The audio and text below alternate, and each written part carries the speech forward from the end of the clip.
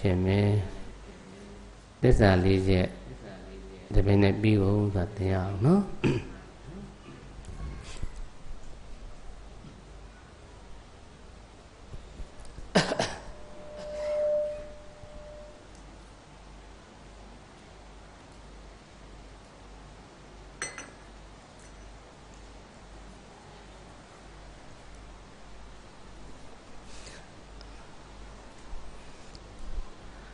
ဒီသစ္စာလေးပါးနဲ့ပတ်သက်လို့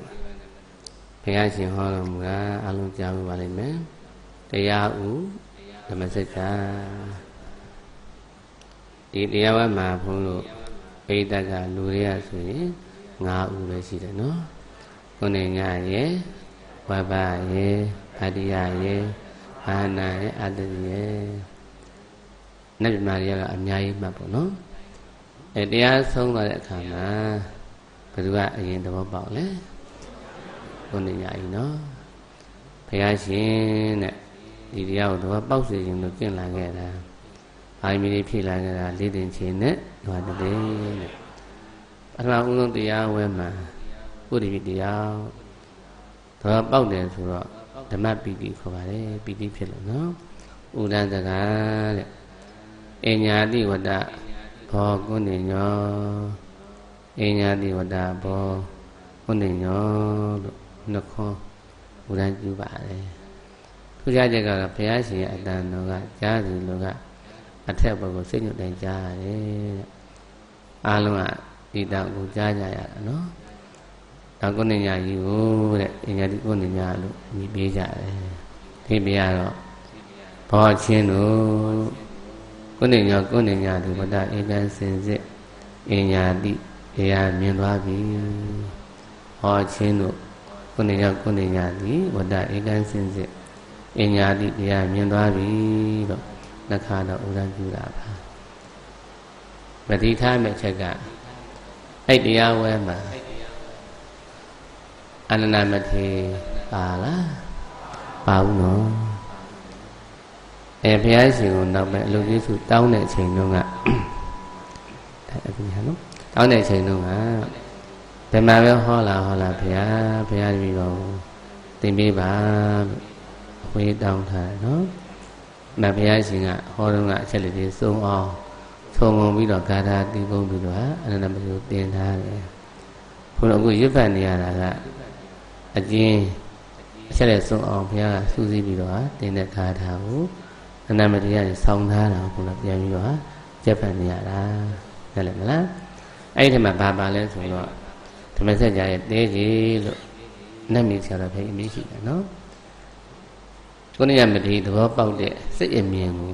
ဘုရားသမုဒ္ဒတဲ့စကားပါလာတယ်စိတ်အမြင်နော်ဘယ်လိုခေါ်မလဲစိတ်အမြင်ထားကြည့်ပါအောင်နော်ယံကိဉ္စီသမုဒယဓမ္မနိရောဓဓမ္မကြီးလေးလိုက်ပါနော် တော့ဆိုကြည့်အောင်နော်ယံကိဉ္စီသမုဒယဓမ္မသဗ္ဗံတံနိရောဓဓမ္မကြီးအဲ့စာသားလေးရဲ့ညွန်ကြားတဲ့စိတ်အမြင်ကိုဘုန်းကြီးတို့သဘောပေါက်ရင်ဒါဘုရားကိုယ်တိုင်ကတရားမြင်ပြီးလို့အာမခံတဲ့ပုဂ္ဂိုလ်လည်းပါပြီတော့ဒါမပြီးသေးဘူးနော်အဲ့မှာစကြည့်ရမှာဒီမင်းနဲ့ဆက်ပြီးနှလုံးသွင်းသွားရမှာ ဒါတစ္ဆာဉာဏ်လမ်းမှာရောက်သွားပြီနိဗ္ဗာန်လည်းပေါ်ပြီပေါ့နော်အဒီမြင်ကိုဘုန်းကြီးတို့ဘုရားကြီးတွေဒီညတော့သုံးသပ်ကြည့်အောင်နော်ဒါရေးကြည့်တယ်အယံကိစီသမှုရိယဓမ္မံဆိုတဲ့စကားကအကျဉ်အကြောင်းကြောင့်ဖြစ်တဲ့သဘောတရားရှိတယ်တဲ့တန်တပံထိုသဘောတရားအလုံးတို့သည်និရောဓဓမ္မံတိချုပ်ရင်းသဘောရှိတယ်အဆုံးတတ်သွားတယ် ပြန်မလာတော့ဘူးပေါ့နော်တောင်းဆိုလို့တယ်တဲ့ရောဓဆိုတာကဆက်ချင်းပြင်းသွားရင်လည်းအဓိပ္ပာယ်ရတယ်ဆက်ချင်းပြေးချင်းပါချင်းအဓိပ္ပာယ်ရတယ်နော်နိထဲတော့ဆက်ချင်းမရှိပြင်းပြီးအဆုံးတတ်သွားတယ်ချုပ်ရင်းသွားတယ်တို့ဆိုလို့တယ်နော်ကောင်းပြီအကျမ်းအဖြစ်ဘုန်းတို့ဖြစ်တယ်လို့အလွယ်ပြောလို့ရပါတယ်ဖြစ်ရင်ပြတ်တာပဲတော့ကဖြစ်ရင်ပြတ်မှာပဲလို့ပြောလည်းမဖြစ်ဘူးလားရတာပဲနော် ဒါမလို့ဘုရားစကားတော်ကအမှန်နဲ့ဆိုင်တာဖြစ်တော့ဘုရားရှင်ကဘာလို့ရည်ရွယ်လဲဆိုတာကိုသိဖို့အပ်တာလေဒါဘုန်းကြီးများဆရာတော်ဖေးကြီးဟောတယ်မြတ်စူးစောင်းကြည့်တဲ့အခါကျတော့တရားရှိမှတ်တဲ့ယောဂီရဲ့ဉာဏ်ထဲမှာရှုစရာတရားမများရဘူးတခုတည်းပဲရှိရမှာလို့မှတ်ပါဘယ်နှခုလဲတခုတည်းရှိရမှာနော် အရှုခံတရားတခုတည်းပဲရှိရမယ်တလောကလုံးကိုဉာဏ်နဲ့သိမ့်လိုက်တရှိတဲ့မြေအကုန်လုံးကိုဉာဏ်နဲ့သိမ့်လိုက်ရင်တကယ်ရှုရမယ့်တရားကဘယ်နှခုလဲခုတည်းရှိရမှာဒါကတရားမှတ်နော်ရှုတရားမှတ်ဖဲနဲ့ဘယ်လိုပြောလဲဆိုရှုတရားအများကြီးတဲ့တခုရွေးရှုလို့ပြောတယ်ထင်နေတယ်နော်မဟုတ်ဘူးနော်တကယ်ရှုရမယ့်တရားကအရှုခံတရားတခုတည်းလို့ပြောတာအဲတက်ရှိတဲ့မြေတွေကကဲ 30ခုကြည့်တဲ့ပြန်မှဘယ်လောက်လဲ20နတ်ပြည်ကလူဘုံကအပေက၄ဘုံဒီမြေတော်တော်တက်ရှိတဲ့မြေတွေဒီနဲမလားများမလားအဲ့ထဲမှာတဲ့တကယ်ရှုရမယ့်တရား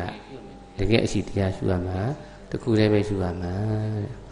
အဲ့တခုကလည်းမမှားရဘူးနော်ငင်းမရအောင်မှန်ရမယ်ဘယ်လိုစူးစီးမလဲစဉ်းစားအဲ့ဘုရားက မင်းရှိတဲ့စကားမှာတဲ့ရှိတော့ရှိတယ်တဲ့အခေါ်အရှိနဲ့တကယ်အရှိခွဲရတာဘာနဲ့ဘာနဲ့လဲအခေါ်အရှိနဲ့ဘယ်လိုဟာလဲလို့မေးရင်မပြမလို့သမုတ်တယ်နတ်ပြီးတော့လူစသဖြင့်မခေါ်ကြဘူးလားခေါ်တာစကလုံးတော့ဒါအခေါ်အပြင်ရှိတယ် အဲတကယ်ညံနဲ့စစ်စစ်ပြီးတကယ်ရှိမရှိရှာရမှာအလုံးစင်သားရအောင်နော်လူဆက်စကလုံးကိုကဲဘာကိုညွှန်ကြားတယ်လဲပြပါလို့ဘုန်းကြီးကမေးမှာပေါ့နော်ကိုယ့်ကိုယ်ကဲခိုင်ပြမှာပေါ့ဒါလူပဲလို့ပြောမယ်ပြောတဲ့နေရာကိုလက်နဲ့စမ်းကြည့်မယ်လက်နဲ့စမ်းကြည့်မျက်စိမေးပြီးစမ်းထားပြီးတော့တဲ့ရခံစားကြည့်မယ်နော်လက်မှာကဲအာရုံကြောတွေမရှိဘူးလား အိမ်မွေးတဲ့ကာယပတ္တာတွေရှိမနေဘူးလားရှိရင်ကဲနှွေးတာတွေပြော့တာမာတာတွေမသိရဘူးလားကာလမချကဲမနှောမှလည်းပဲမကြည့်ပဲနဲ့မျက်နှာအမူအရာလက်အမူအရာကိုယ်အမူအရာတွေပေါ်မနေဘူးလားအဲ့ဒါတော့တိကိုတိနေရတယ်နော်ဒါမလို့ဖះပေးတဲ့အမြင်မှန်ဉာဏ်နဲ့ကြည့်မယ်အမနောတိပေါ်လာတဲ့အမူအရာကိုပညာအလင်းနောက်စိနဲ့ကြည့်မယ်ထိုအမူအရာကြီးကကျွန်တော်ဟာလက်ဝါးပါ ရင်ဘတ်ပါခေါင်းပါလူပါစတဲ့ဖြင့်စကားပြောတဲ့အတန်ပါလားသိကြတယ်နော်အမနဲ့တင်းတဲ့တရားနဲ့ပြန်ဆက်ပါတိတဘောလေးတစ်ချက်ဖြစ်တယ်ဆိုတာကစိတ်ကဲစေတိကဲရုပ်ကဲဒီနေရာဖြင့်ယုတ်ဝေဒနာသင်္ခါရအောင်တော့တိုက်ချိန်မှာနာလေးပါပေါင်းပြီးသားဖြစ်တော့အတိမပေါ်ဘူးလားပြီးတိတာကတော့ခန္ဓာ၅ပါးဖြစ်ပြဟုတ်နေတယ် လက်မှာကတရှင်းရှင်းနဲ့အေရာပူရာထုတ်တာတည်မယ်တတ်သဘောပဲနော်ကောင်းတယ်ပါလားမနှမ်းမှကျတော့အမူအရာပေါ်မနေဘူးလားဟောတဲ့အမူအရာကကျွန်တော်ခေါင်းမှာလက်ပါချီပါလူပါလို့ပြောလားဒါမျိုးလူစကလုံးကတကယ်နဲ့မှရှာကြည့်တော့ရှိလားအဲရှိတာကတော့ခန္ဓာ၅ပါးဖြစ်ပြတော့ရှိတယ်ဟုတ်ပါလားရမယ်နော်တ မင်းကတလောကလုံးကိုခြုံလိုက်အောင်နော်ဟိုရပြောမယ်ကလောကကြီးရှိတယ်လို့ပြောလိုက်မယ်လောကကြီးရှိတယ်အခေါ်စကားလုံးနော်မကြားရဘူးလားတခြားလဲခန္ဓာ၅ပါးဖြစ်ပြလားကဲကာလမချမ်းမနှောမှာနောက်လိုက်မနှောဘူးစီနော်ဖွဲ့လိုက်တော့ကိုမြင်မှုတဲ့တောတောင်ကြီးတွေပေါ်မလာဘူးလားပေါ်လာတော့တခါနောက်စိတ်ဉာဏ်နဲ့ပြန်ကြည့်မယ် အဲ့တော့အမူအရာအရေးကကျွန်တော်ဟာလောကကြီးပါလို့ပြောလားတန်လေးအငွေ့လိုပဲမြဲမလားပျောက်ပါမလားဒီမြင်လောကရှိတာလားခန္ဓာငါးဖြစ်ဖြစ်ရှိတာလားအိမ်မီလားအမြင်ကတလောက်ကလုံးဆုံးနေဆိုရင်ပုံလေးပြန်ကြည့်အောင်နော်တတ္တဝါအားလုံးမှာဘာရ6ပါးနဲ့ပိုတဲ့တတ္တဝါ မရှိပါရှိပါမလားရော့ရင်သာရော့မယ်နော်အချို့ဇမားကြီးတွေဇန်တက်တိအချိန်ကြောင့်မလို့ဓာရ၃ပါးလည်းရှိတယ်မျက်စိနာမနှောပဲရှိတယ်နှာခေါင်းကအနတ်မခံစားဘူးရှားအရာလည်းမခံစားဘူးကာပတာလည်းငုတ်သွားတယ်နော်အဲကျွလည်းအကုသိုလ်များလို့မျက်လုံးမပါဘူးနားမပါဘူးရှိရင်ရှိမယ်တဲ့ဓာရ6ပါးတော့ပိုရတတ္တဝါမရှိနိုင်ဘူးဘုရားကတိကကြောက်ရှာကြည့်တယ် အချက်ပင့်ကိုမျက်လုံးရှစ်လုံးရှိတယ်သို့တော့လည်းမြင်သိစိတ်ခန္ဓာ၅ပါးပဲရတာပဲလေဓာရတစ်ခုလေးယူရမှာပဲနော်ကောင်းပြီကဲဓာရ6ပါးတဲ့ဘုရားတရားမရှိတော့အာယုံတိုက်တဲ့ချိန်မှာထို6ဌာန၌မျက်စိမှာဆိုရင်ဗာတိမလဲအစင်နားမှာနှာခေါင်းမှာရှားမှာကိုယ်မှာဣတိဝေယမနှောမှာအန္တရာယ်ဒီတဲ့အပူရှိလား ပြီးရင်ဒီသဘောတရားတွေကအကောင့်ထဲပါလားတကားပါလားဟုတ်တယ်ဘုရားအမင်းရှိတယ်နော်စေတတို့တဲ့ကောင်းကင်မှာစိတ်စိတ်ပြတဲ့ကဲ့သို့တဲ့အမြင်နိုင်နဲ့မြင်နိုင်လားမရှိတဲ့ဓာတ်သဘောတွေပေါင်းစုပြီးတော့လက်ခနဲ့ပေါ်မမြင်ရမမြင်ရပြောက်တဲ့ကဲ့သို့ခန္ဓာ၅ပါးသဘောနော်အကြောင်းကြီးခဲ့ပေါ်ပြီးရင်သိပြီးလောင်ပြီးပျောက်သွားတာတဲ့ပြန်မလာတော့ဘူး ဟုတ်ပါမလားဒါမြင်တလောကလုံးမှာရှိတဲ့တတ္တဝါဘုံကမိနာမပုံတရံဘလို့ပဲပြောင်းပြောင်းဒါကြောင့်မှအာုံတဲ့သိတဲ့သဘောကတော့သူမနေဘူးလားအဲ့ဒါဒီပြီလေတဲ့ဘုရားဘဝခန္ဓာလို့သုံးတာနားလည်မလားအဲ့ဒီခိုင်မှာပဲဆရာတော်ကြီးကျတော့ဖားတည်တည်တယ်လို့ခေါ်တယ်ဇာတိဖြစ်တယ်ရှင်းပြီးပြောက်တာဇရာမရဏ ဒါဘဝဖြစ်နေတာနော်အခုကဘုန်းကြီးကအတန်တန်မပြောသေးဘူးကဲအလိုသိကျင်တယ်ဖြစ်ပါမလားကဲမပြောသေးဘူးနော်တတ္တဝါတကောင်အတန်မပြောသေးဘူးကြားကျင်လို့ရလားပြောကြည့်မယ်ကဲနော်ဆင်းမကြားလိုက်ဘူးလားတောက်ဆရာလည်းပြရမဟုတ်ဆိုရအမိရှိပါရဲ့အခုကြားတဲ့ဦးမြတည်သွားပြီအခုကြားတဲ့ဦးလာဘူး တည်သွားပြီလို့အမိရှိတယ်ဒီခန္ဓာငါးတိသဘောလေးကဘွားတစ်ခုလုံးရဲ့ဖွားမြင်ခြင်းတည်ခြင်းလို့မှတ်လိုက်ပါအဲ့ဒီယူဆကိုဘုန်းတို့ထဲထဲဝင်သဘောပေါက်နိုင်ရင်တော့ဥပဒနာရှိရတာခီးရောက်မယ်အခုတော့ပိုင်မှမှတ်ထားကြအောင်ပေါ့နော်ဒီတော့ပေါက်လာလိမ့်မယ်နော်အောင်ပြီဒီမှာဘုန်းကြီးတို့ပြန်ကြည့်အောင်နော် လိုချင်တာကတော့လောကမှာတကယ်ရှိတာတစ်ခုတည်းဖြစ်ရမှာနော်ဒီမှာ6ခုဖြစ်နေတယ်တဲ့ဘယ်လိုဖြစ်တာလဲတကယ်ရှိတာတစ်ခုတည်းဖြစ်ရမှာနော်မိဒီမကဲစိတ်ဆိုတာကတကယ်နဲ့မှာနဲ့စိတ်ပေါ်ပါမလားနေရတယ်နော်ဓမ္မကပါဠိမှာရှိပြီးသားနော်ဓမ္မပဒမှာရှိပြီးသားဒုရင်ကမှာဧကဇာရပါပြီးသားနော်အိဗေယ တပြည့်နဲ့မှနှစ်စိတ်မပေါ်ပါဘူးတစ်စိတ်ပဲပေါ်တာဟုတ်အေးတူပဲကဲပေါ်တဲ့ခါမှာအောင်ဆွဲကြင်တော့ဟာအောင်ကတိုက်မှလည်းသူကပေါ်ခွင့်ရပေါင်းတာဟုတ်ခန္ဓာငါးပုံလေးပြန်ပြလိုက်ပါအောင်နော်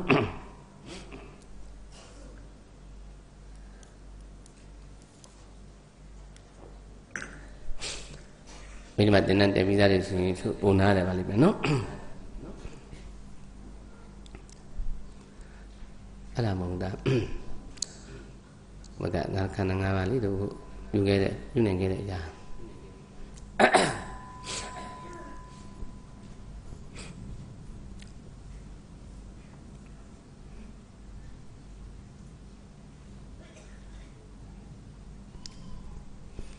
တော့ပြန်ဆော့ရပြီဒီပါနော်ဒီစိတ်စိတ်တိတ်တွေကလေးပဲတဲ့တကယ်တော့အာ တကွဲစီမထင်ပါနဲ့တဲ့စိတ်တိတ်ကဘယ်နှပါလဲ52ပါစိတ်တိတ်ချက်ပေါ်ရင်စိတ်တိတ်52ပါပါစနေပဲလို့မှတ်နော်ဘုရားမို့လားပိုက်စားပြနေတာအဲ့လေးခုကတဲ့တူလေးမျိုးရှိတယ်လို့ဒါလေးလေးစဖိတ်အမင်းရှိခဲ့တယ်နော်တူတော့မိယာလူသောအာယုလူသောဖြစ်ခြင်းလူသောချက်ခြင်းတပေါင်းနဲ့ဖြစ်ပေါင်းနဲ့ချက် ဒါကိုနံခန္ဓာလို့သုံးသွားတာဟုတ်ဒါကမဟုတ်ဆိုပြီးဆိုထားပြန်တယ်ဒီနံလေးပါးကိုတကယ်တော့အာယုံထွာရပိုင်နေလို့သုံးသွားတယ်ဘဘုရားပိုင်တာလေအောင်တော့တက်ချိန်မှလာတယ်သူကပေါင်းဝင်ရှိပြီးတော့ဟာဖတ်တာဖြစ်လို့အတိဖြစ်တာပါတဲ့ဒါဒီတိုင်းပဲချက်ပြန်နော်ဒီကဘုရားအားလုံးဥစ္စာတွေပြရမယ့်ပိုင်းတွေပါလာပြီဒီနေ့မှာတန်ဃာတဲ့သား တတိယဟံဘုရားတရားကိုနာတာမှာသူဥစ္စာရွေးပြီးတော့အာဘုရားတရားငါသိပြီဆိုပြီးလဲပြီးဟောတယ်ဘယ်လိုဟောလဲဆိုတော့ဝိညာဉ်ဟာအဓိကပဲလို့သူကယူဆပြီးတော့နော်သူကပဲသိတာဝိညာဉ်ဆိုတဲ့စိတ်ကအဓိကအမှားကြီးနော်အမှားကြီးနော်သူကပဲခိုင်းတာသူကပဲလျှောက်သွားနေတာဘဝကြီးပြောင်းတာသူကပဲထွက်သွားတာလို့ စိတ်ကခိုင်းတယ်ပေါ့နော်စိတ်ကစွာရှင်လို့မပြောပြဖြစ်တဲ့ဘဝကူတာသူပဲလို့ဒီလိုယူဆပြီးတော့လိုက်ဟောတယ်တဲ့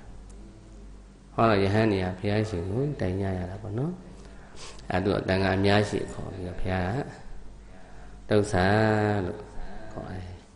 ဒါမူလဗန္ဒနာပါတယ်နော်မဲ့ဖို့မှာအချင်းကြီးဖြစ်သောယောက်ျားလို့ဘုရားမင်းရှိတယ်ငါဟောတာဘယ်နှခါကြားဘူးလို့လဲ ဘုန်းကြီးကစိတ်ကပြေးနေတယ်တည်ရင်သူကပဲထွက်သွားတာဘုန်းကြီးနဲ့ကူးတယ်ဆိုတဲ့စကားကိုငါဘုရားဘယ်နှခါဟောတာကြားဘူးလို့လဲတဲ့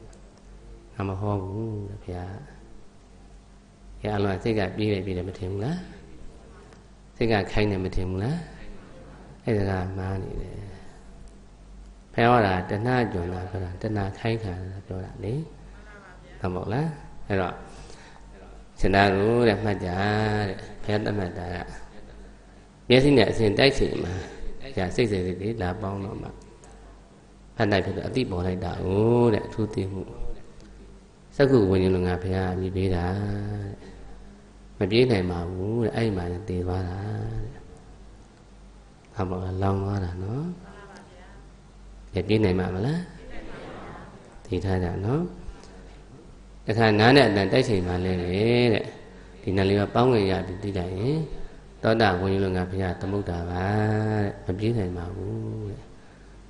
ဟုတ်ပါ့လားအဲ့မှာလည်းချုပ်သွားတာတောင်းဆရာဖေးကအခုကြားတဲ့ဥညာတည်သွားပြီဘွားတစ်ခုလုံးရဖွားတယ်လို့မှတ်ရမယ်စဉ်းစားစဉ်းစားဒီနားမှာဖြစ်တဲ့မြစ်မဲ့စီက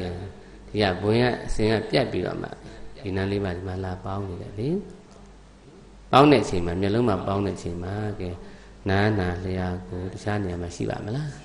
ရှိဘူးဒီမှာဒီမှာအကုန်စူးစီးပြီးတော့ဟာဘွားဖြစ်တယ်တည်သွားတယ်ဘွားတစ်ခုလုံးရဲ့ဘွားရင်တည်ခြင်းလို့ခေါ်တာတဲ့ဟုတ်တယ်မလားတကနှာခေါင်းမှာအနက်တိုက်ချိန်မှာလည်းနာလေးပါပေါင်းလို့အနက်တိလိုက်တယ်ဆိုတော့မှဒါနဝิญဉ်လုံးကဘုရားသမုဒ္ဒါပါတဲ့။နောက်ရှားမှာအရသာတိုင်မယ်။နာလေးပါပေါင်းတဲ့ဖြင့်တိလိုက်တဲ့အခါမှာဒိမဝิญဉ်လုံးကဘုရားသမုဒ္ဒါပါတဲ့။ ဝန်ကြီးကပြေးနိုင်လားတက်လိပ်ပြဟုတ်ပါမလားဝန်ကြီးလေးကနေလျှောက်ရှာတာဟုတ်ပါမလားဟုတ်နော်စိတ်ကစိတ်ဝင်ကြီးကပြေးနေပြီတော့မလုံးနဲ့နော်ဟုတ်ဘူးတဲ့မပြေးနိုင်ဘူးတဲ့တော့ပေါ့လားအောင်ကတိုက်မှန်နော်နည်းလေးပေါင်းမှတိတဲ့ဘောလေးဖြစ်လိုက်တာတိတဲ့ကလေးဖြစ်လိုက်တာတော့ပေါ့လားပြစ်သေးသွားတာရမလားကောင်းပြီဒါကာပဒနာမိုက်တို့အောင်ကတိုက်ချိန်မှာ နည်းလေးပေါင်းတဲ့ဖြင့်ကိုယ်မှာတိတိတဲ့ကလေးဖြစ်လိုက်တယ်အဲ့တော့ကာယဝင်လုံကဘုရားကအမိပေးတာပါတဲ့ဟုတ်ပါ့မလားဒါမနောမှလေးတိုင်းပဲဘဝင်စဉ်ပြတ်ပြီးအာယုံဆွဲကြင်တော့မှမှန်အောင်တကယ်သူအိမ်မှာတိလိုက်တယ်အဲ့ခိုင်မှာနံလေးပါပါတယ်နော်ယုံနဲ့တပေါင်းနဲ့ဖြစ်ချုပ်ပါလားအဲ့ချိန်မှာမနောဝင်ရင်ကဘုရားကမိပေးတာပါမပြေးနိုင်ဘူးတည်သွားတာပဲဟုတ်ပါမလား အဲနောက်စိတ်ကဝိဇ္ဇာပေါ်တာကိုခုလိုအဖြစ်ဖြစ်မှန်မသိတော့မှအဝိဇ္ဇာဖုံတော့အကောင်ထင်ကံမှမတည်ဘူးထင်ပြီးဆက်တာဟုတ်ပါလားဆက်တယ်မှတဏှာဥပါဒကံဖြစ်ရတာဟုတ်နားလည်တယ်နော်ကျန်တာကဥမာအဖြစ်တဲ့မျက်ကိုဆွဲလာရင်မျက်မျိုးခေါ်သူလို့ပေါ့တဲ့မျက်ကိုဆွဲလာရင်ကာယုဆွဲလာရင်ကာယုမျိုးခေါ်တယ်လို့ပေါ့တဲ့နောက်ကြီးဆွဲလာရင်နောက်ကြီးမျိုးခေါ်တယ်လို့ တရွက်ကလေးဆွဲလာရင်တရွက်မျိုးခေါ်တယ်လို့တက်သားဆွဲလာရင်တက်သားမျိုးခေါ်အမိုက်လာရင်အမိုက်ခေါ်တယ်လို့ပေါ့တဲ့အာဖေကဒီလိုဆိုခဲ့တာပါလို့ဘုရားမင်းရှိပါတယ်ဒါမြင်စိတ်ကပြေးတယ်ပြေးလို့ပြောမှာလားပြေးတယ်ဆိုရင်ဒါအသက်ဝင်တဲ့လိပ်ပြန်လေးဖြစ်နေမှာပေါ့အတ္တဖြစ်သွားလိမ့်မယ်ဟုတ်ပါရဲ့လားသိစိတ်ဆိုတာအောင်တဲ့လက်ချိန်မှာပဲသိပြီးသိပါလားဟုတ်ပါရဲ့လားနားလည်တယ်နော် သိပြီလားနာမ်လေးပါးတက်တက်သိမနေဘူးနာမ်လေးပါးရှိတဲ့ဘောတရားဟောလို့မရတာဟုတ်ပါရဲ့လားနားလည်တယ်နော်သိဆိုရင်အောင်တာတိုက်မှာနာမ်လေးပါးပေါင်းဝင်ရမှာအတိဖြစ်တာလို့မှတ်ရမယ်ရပြီနော်သိထားကြနော်ကောင်းပြီဒါမြင်ဘုန်းတို့သိရမှာကဒီစားလေးပြန်သွားလိုက်နော်ဒီသဘောလေးပေါ်တဲ့အချိန်လေးက ပြီးတယ်ပြလိုက်တာ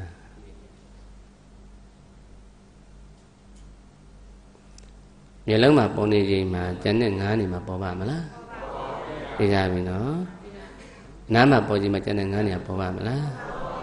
နှာခေါင်းလျာကိုစိတ်တစ်ခုပေါ်ချိန်ကျန်တဲ့ငါးခုပေါ်ပါမလားသိကြပြီနော်ဒါမြင်ရင်အသေးဆုံးအချိန်မှာတိသဘောခန္ဓာ၅ပါးဒီတစ်ခုပဲရှိမယ်အချိန်နဲ့သွားနော် အသေးဆုံးအချိန်မှာတိသဘောခန္ဓာ၅ပါးတစ်ခုပဲရှိမယ်ဟုတ်ပါလားဟုတ်ပြီနော်အဲ့သဘောတရားလည်းပေါ်ပြီးမြဲမှာလားပျောက်သွားမှာလားပျောက်သွားပြန်ရောပြန်လာပါမလားဒီပေါ်ရုပ်ဆွားနေတာပေါင်းလုံးပါမှာမလာတော့ဘူးလေသိမှုတဲ့ရုပ်ကောတော့ပေါင်းလုံးသိတဲ့သဘောလေးဟာကောင်းရင်မှလက်စစ်လက်တူလိုပဲလို့ဘုရားဟောထားပြီးသားလေပြန်မလာတော့ဘူးဘယ်တော့မှမလာတော့ဘူး သူ့သဘောကနိရောဓဖြစ်နေတာအမှန်တဲ့ဟုတ်ပါလားအဲ့ဒါကိုဘာနဲ့သိရမလဲဆိုရင်တဲ့စိတ်မှရှင်တဲ့အလင်းတက်ဘုရားပေးတဲ့မဲ့ခင်အလင်းတက်နဲ့မှသိတာပါနောက်စိတ်ကအလင်းတက်နဲ့မှနော်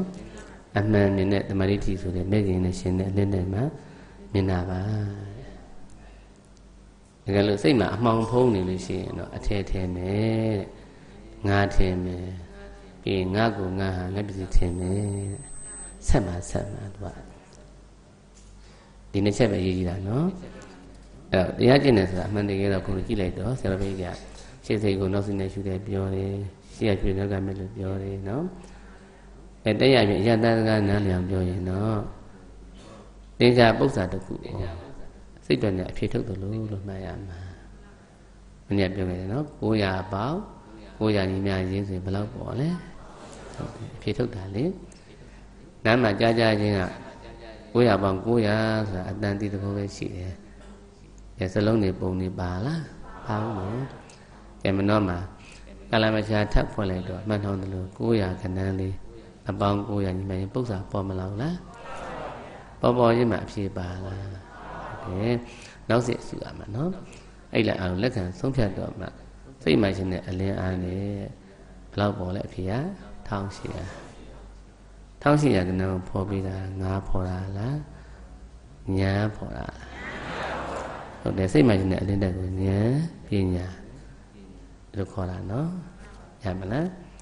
ညာနဲ့ငါနဲ့မရောပါဘူးနော်ဟုတ်ပြီဒီတူပဲဘုန်းတို့ဘုရားကအပြေမှန်ရအောင်ပထမသင်ပေးလိုက်တာလေကဲမောဟပညာပြန်သွားလိုက်ပါအောင်နော်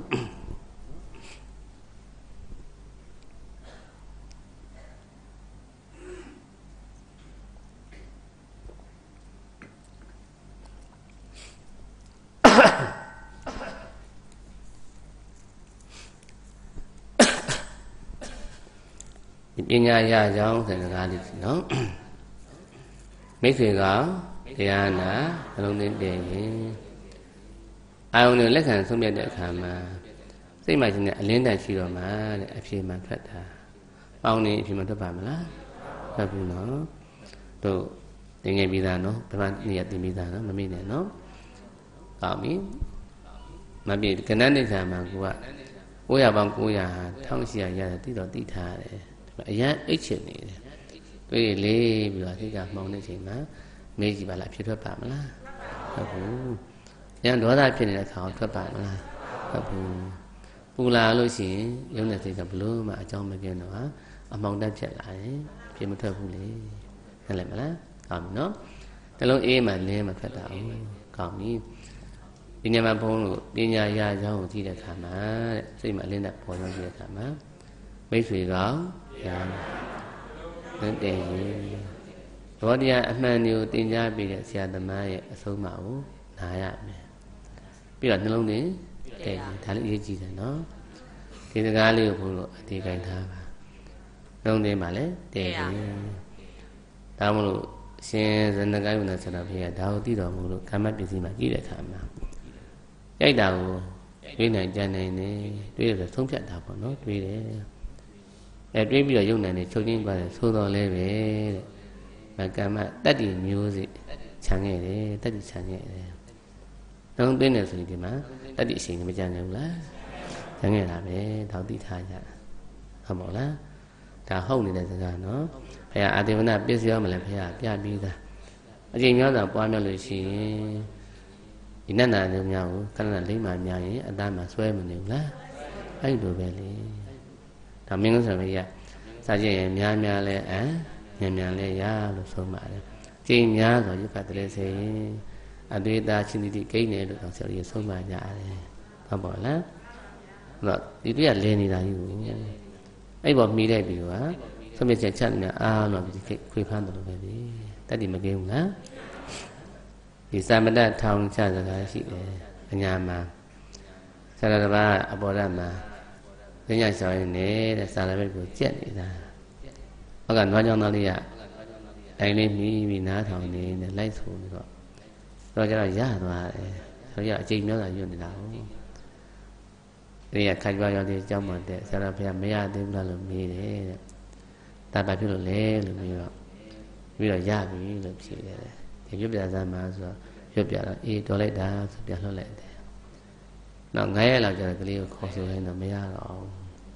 အဲ့မှာဆုံးမလိုက်တယ်နော်ချိန်ဖန်များစွာနှလုံးသွင်းရတယ်တွင်းတော်မှာအတွေ့အကြချင်းထိအောင်ဆွဲမှာတတိဂိမ်းတာဟုတ်ပါလားနှလုံးသွင်းတဲ့တတိမဂိမ်းဘူးလားတော့မင်းကုန်းဆရာဘုရားတို့ဆိုရင်တိပိတိကဒါရဖွဲ့ပေးတာနော်နှလုံးသွင်းတာပဲလေမသွင်းမနဲ့ဒီမှာတတိဂိမ်းမှာမလားလူရဲ့တဏ္ဍာမှာဆိုရင်ဒါရှိလဲဆိုရင်အသွေးသားချင်းလူဒါပဲရှိတာမလား ဒီမှာဂိမ်းနေပဲယူရမှာပေါ့နော်ဟုတ်ပါလားကောင်းပြီနော်ဟောဆရာဖခင်တို့ဘယ်ကတာမေးလိုက်မေးလိုက်လေသူဆရာဖခင်ပိဋကကြီးဖြေတာလဲကြည့်လို့ရဖတ်လိုက်အောင်နော်ဟုတ်ဖြေတဲ့ကြောင်းဖတ်ရဘူးလေဒီရွတ်တဲ့အခါမှာတဲ့ငါးခါထောက်ရရင်ဒါကြတယ်တဲ့သမဏအများယူတာမှာနော်မေးလို့ငါးခါထောက်ရင်ဒီကတော့အောင်တယ်မခေါ်ဘူးကြတာတဲ့သမဏဘုံထောင်ကြီးရွတ်တာ မထောက်ရတဲ့ပြင်ကိုတရားနာလို့နာနေရတာဒီနေ့တော့ဇာလောက်ဇာမကြီးအုပ်ချုပ်တဲ့ဒီဆရာတော်ကြီးကခဏအပြင်ထွက်တော့တန်ခါငယ်ပေါ့နော်စမ်းညာတာပါပဲအရှင်ဗျာတဲ့ရှင်သေးကုန်ရွတ်ပြပါလို့ဆိုတဲ့ဒီအစဉ်နဲ့ရွတ်တာလွယ်တယ်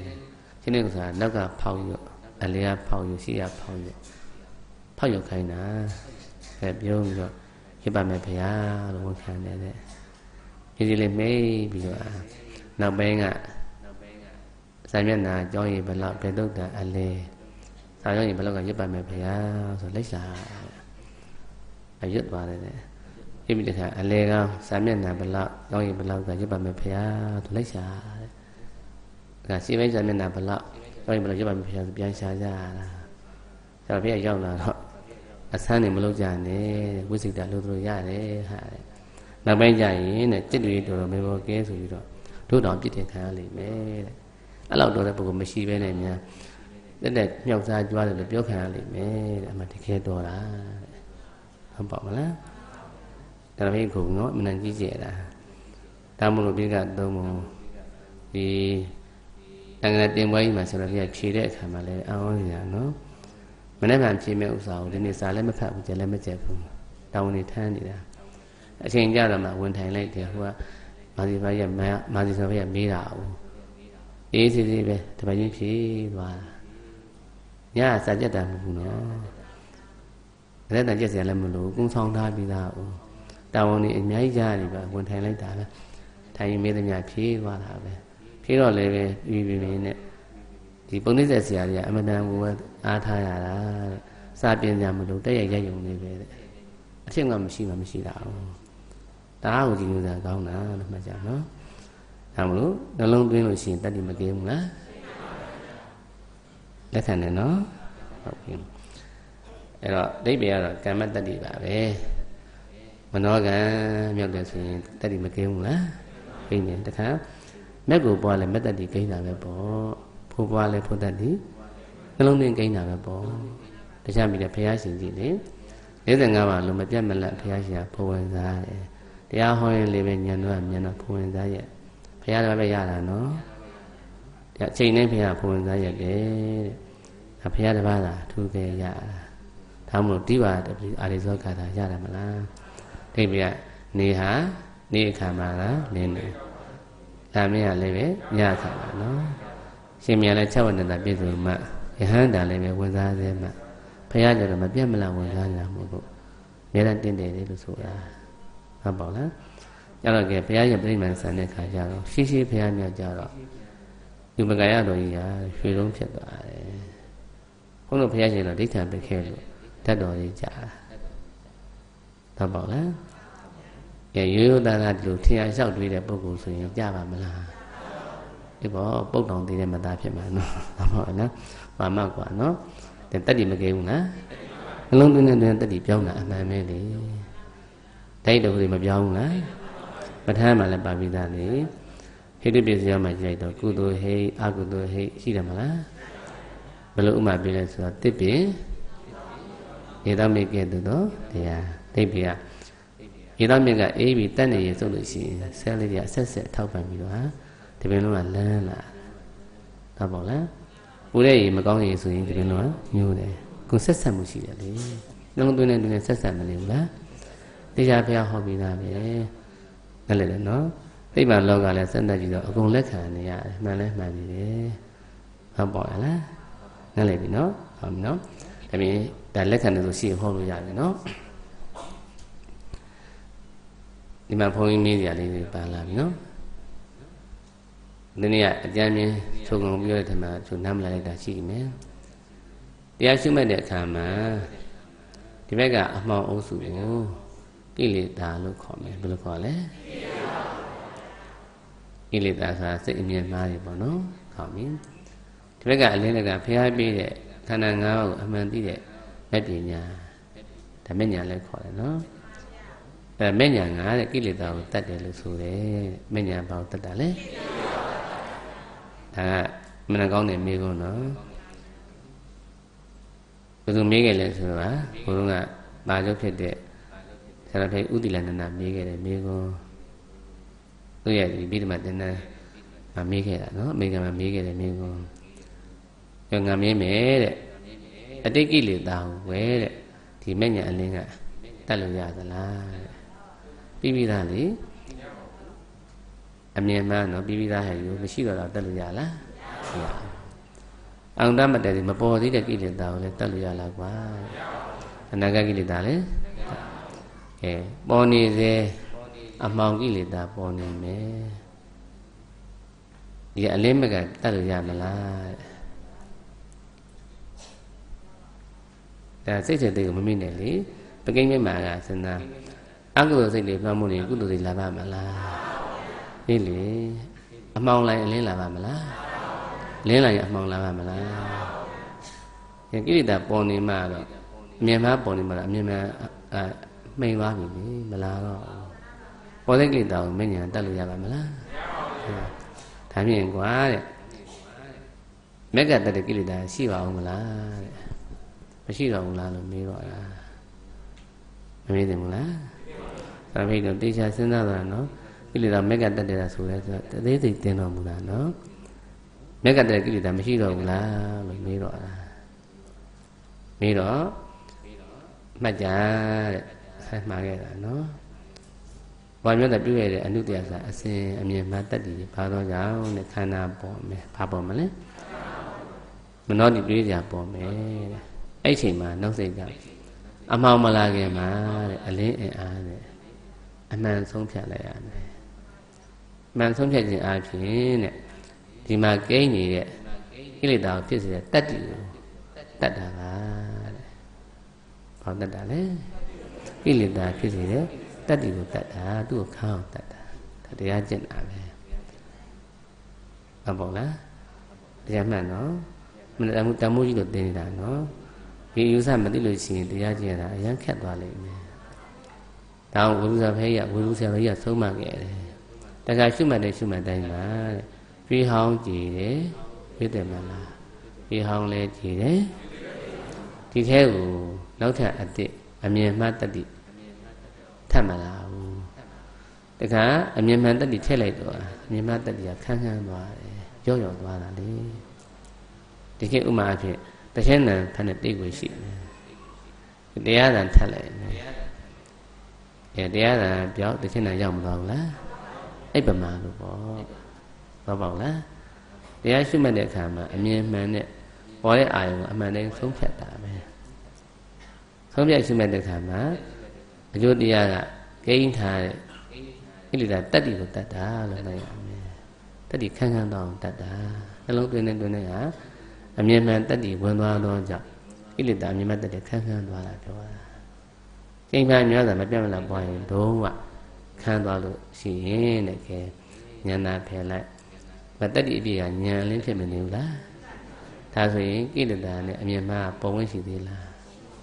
ဒါကိလေသာကုံတယ်ဆိုတာတတ္တိကုံတာပြောတာဟိမ့်ပြီလားရတယ်နော်တော့ဘုရားရှင်ရဲ့အတွေ့အကြုံရှင်အားလုံးမှာကိလေသာတတ္တိမရှိတော့ဘူးမတတ်တဲ့အမြင်နဲ့မြင့်တဲ့အတကြီးကိန်းသောကြောင့်မလို့ခန္ဓာကိုယ်ကြီးကရွှေလုံးဖြစ်သွားတာဟုတ်ပါလားတတ်တော်ကြီးကြာဆိုကြာတာနော်မနခိုင်ငတ်တဲ့တရားဖြစ်နေတယ်အဲအယောင်ကပြောင်းတာကြည့်လိုက်အောင်ကြနော် တိတ္တမျက်နှာပေါ်တော့ရောင်ကြီးတော့ထွက်သလားဟုတ်ပါဘူးအဲဒီတရားတွေကိုသိတော့မှကိလေသာကိုကုန်ခအောင်ပွားများတော့တာနော်ပရမတ်ခုနှစ်ရက်ဖွင့်စားတယ်မပြတ်မလားဖွင့်စားဘာအစာမှမစားဘူးနော်တခါခုနှစ်ရက်ပြည့်တဲ့အခါကျတော့ဥရန်ကျူပြီးတဲ့အခါလောကဖွင့်ဥရန်ရတာဥရန်ကျူပြီးတဲ့အခါမှာဘောဓိပင်ရဲ့အရှိမြောက်ကနေဘောဓိပင်ကြည့်ပြီးတော့ခုနှစ်ရက်မေတ္တာမခတ်ဖက်နဲ့ရက်ပြီးတော့ကြည့်တာခုနှစ်ရက် ဒါဖွင့်စားနေတာအလုံးသွင်းတာနော်အမှန်တည်းကိုနှုံသွင်းနေတာခေါ်တယ်ဒါပေါ့မလားဘယ်လောက်ရှိပါလဲ14ရက်ဒါကဘောဓိပင်နဲ့ရက်တော်မူရာအရာအနောက်နဲ့အရှိအတောင်60ဈဉ္ညာလပေ90မှာခုနှစ်ဘလုံးလမ်းလျှောက်စရင်းရလျှောက်ရင်းနဲ့ဘဝင်စားကြတယ်ကဲဘာမှမသိဘူးဆိုဟုတ်ပါမလား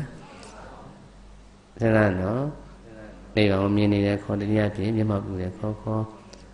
ဘုရားဘုရားတတ်တဲ့အရှိအရှိတဲ့မြင်နေခြင်းခေါ်တယ်နှလုံးသွင်းနေမှာတချို့ကနိဗ္ဗာန်မျိုးဆိုရင်အိပ်ပျော်သလိုကြီးဘာမှမသိလို့ထင်တယ်မလားအသိဉာဏ်ရှောက်နေတယ်ဆိုတော့ဟုတ်ပါမလားနားလည်တယ်နော်ဘာမှမသိတာအိပ်ပျော်တာဖြစ်ရင်ဖြစ်ရမယ်နားလည်တယ်နော်အဲဝိနတဉာဏ်နိရောဓတမမဆိုရင်လည်းမသိဘူးထားလိုက်တကူနဲ့မဆိုင်ဘူးနော်အဲ့တော့ဖွင့်စားရတဲ့ဈဉာဏ်လျှောက်တာဘယ်လောက်လဲခုနှစ်ရက် ကျမ်းမှာတိကျပါပြီသားနော်ခုံသုံးလီ20ရက်နောက်ဇန္နာကရရွှေမှာကျတော့ခုနှစ်ရက်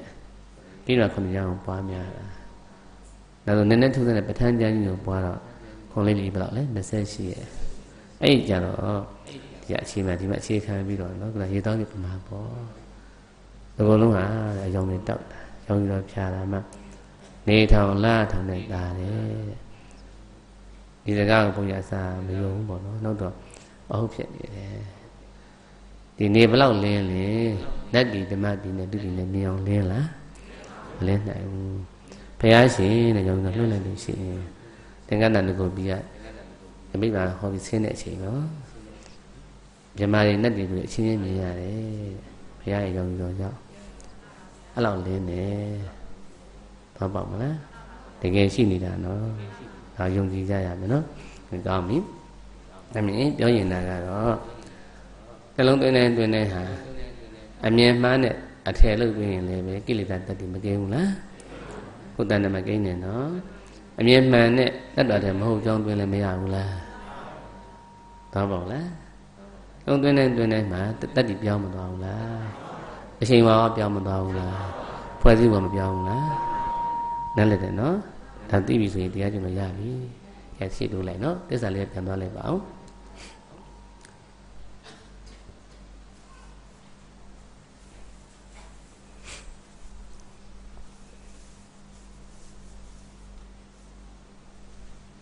ဒီပါ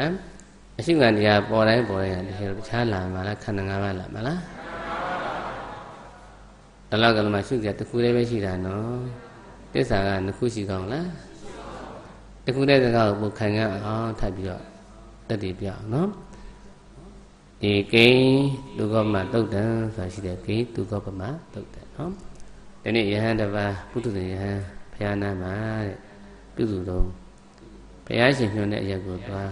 တရားရှင်ပြန်လာတဲ့ယဟန်တာကြီးတွေတပါဝင်လာလိုက်နောက်တပါဝင်လာလိုက်၄ချိန်ပေါ့နော်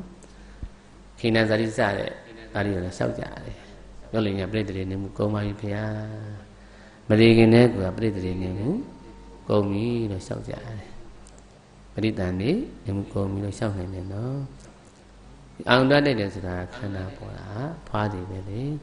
တစ်ဖန်ထပ်ပြီးတော့တွေးတယ်ဆိုတာအထက်ထင်တွေးရင်ပရိသေထပ်ယူတာပဲအထက်ထင်တွေးရင်တဏှာဥပါဒံကံပြတ်မှာဟုတ်ဟုတ်ပါလားအဲ့တော့ဒါရီမရှိတော့ဘူးဆိုတဏှာမရှိရင်ကဇာတိလာပါမလား ဒါပရိသေနေကုန်ပြီလို့ရဲတင်းပြောရဲကြတာဟောဒီဟန္တာစကားပဲလို့မှတ်ထားလိုက်တယ်ဘယ်နှပါလဲ၄ပါးနောက်မယောမလဲလိုက်သွားတယ်တဲ့ပြီးတော့အရှင်ဘုရားတဲ့ဘလို့ရှုလို့ကိလေသာခံပါပါသလဲဘလို့ရှုလို့ကိလေသာတတိခံသွားပါသလဲရှုနည်းပေးပါဗျာလို့တောင်းတယ်ဗမတ်တစ်ပါးက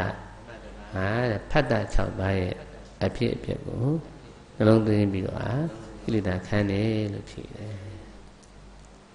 လို့ဖြေတယ်ဖတ်တာ6ပါးအဲ့တော့ခန္ဓာ၅ပါးအကြောင်းကိုလေ့လာသိထားတာမဟုတ်တော့ဘုရားနဲ့နေတော့လေဘုရားဟောတာကျွန်မပေါက်ဘူးနော်မသိထားတော့အတဘာမပေါက်ထားတော့ဟော6မျိုးမှတ်လိုက်တယ်ဟောလူ6မျိုးရှိတာလို့ထင်တယ်တဲ့နောက်တစ်ပါးကိုသွားရေးရှားရှိမေးတယ်တဲ့ဘုရားဆရာမကြီးဟောရင်းနဲ့ပုထုရှင်များရှားရှိတယ်တဲ့မသိတော့ရှားရှိတယ်တဲ့မ သိရင်ဆရာလည်းများတယ်ရှားလည်းရှိတယ်နော်အဲ့တော့ထပ်ပြီးတော့မေးတယ်တဲ့ရှင်ဗျာဘလို့ရှုလို့နှလုံးသွင်းလို့ကိလေသာခံပါလဲဆိုတော့ခန္ဓာ၅ပါးရဲ့အဖြစ်ပဲကိုနှလုံးသွင်းနေပဲရှုမှတ်ရင်းနေပဲကိလေသာခံတယ်လို့ဖြေတယ်ဆိုတော့ခန္ဓာ၅ပါးလည်းသူမသိတော့อืมတပါး6မျိုးတပါး5မျိုးခဏနေလျှောက်မှတ်ထားတာပေါ့နော်ဒါတပါးသွားရှာရှင်နေတယ်တဲ့ ဟိုကဓာတ်လေးပါးရဲ့အဖြစ်ပဲကိုနှလုံးသွင်းနေပဲကိလေသာခံတယ်လို့ဖြေတော့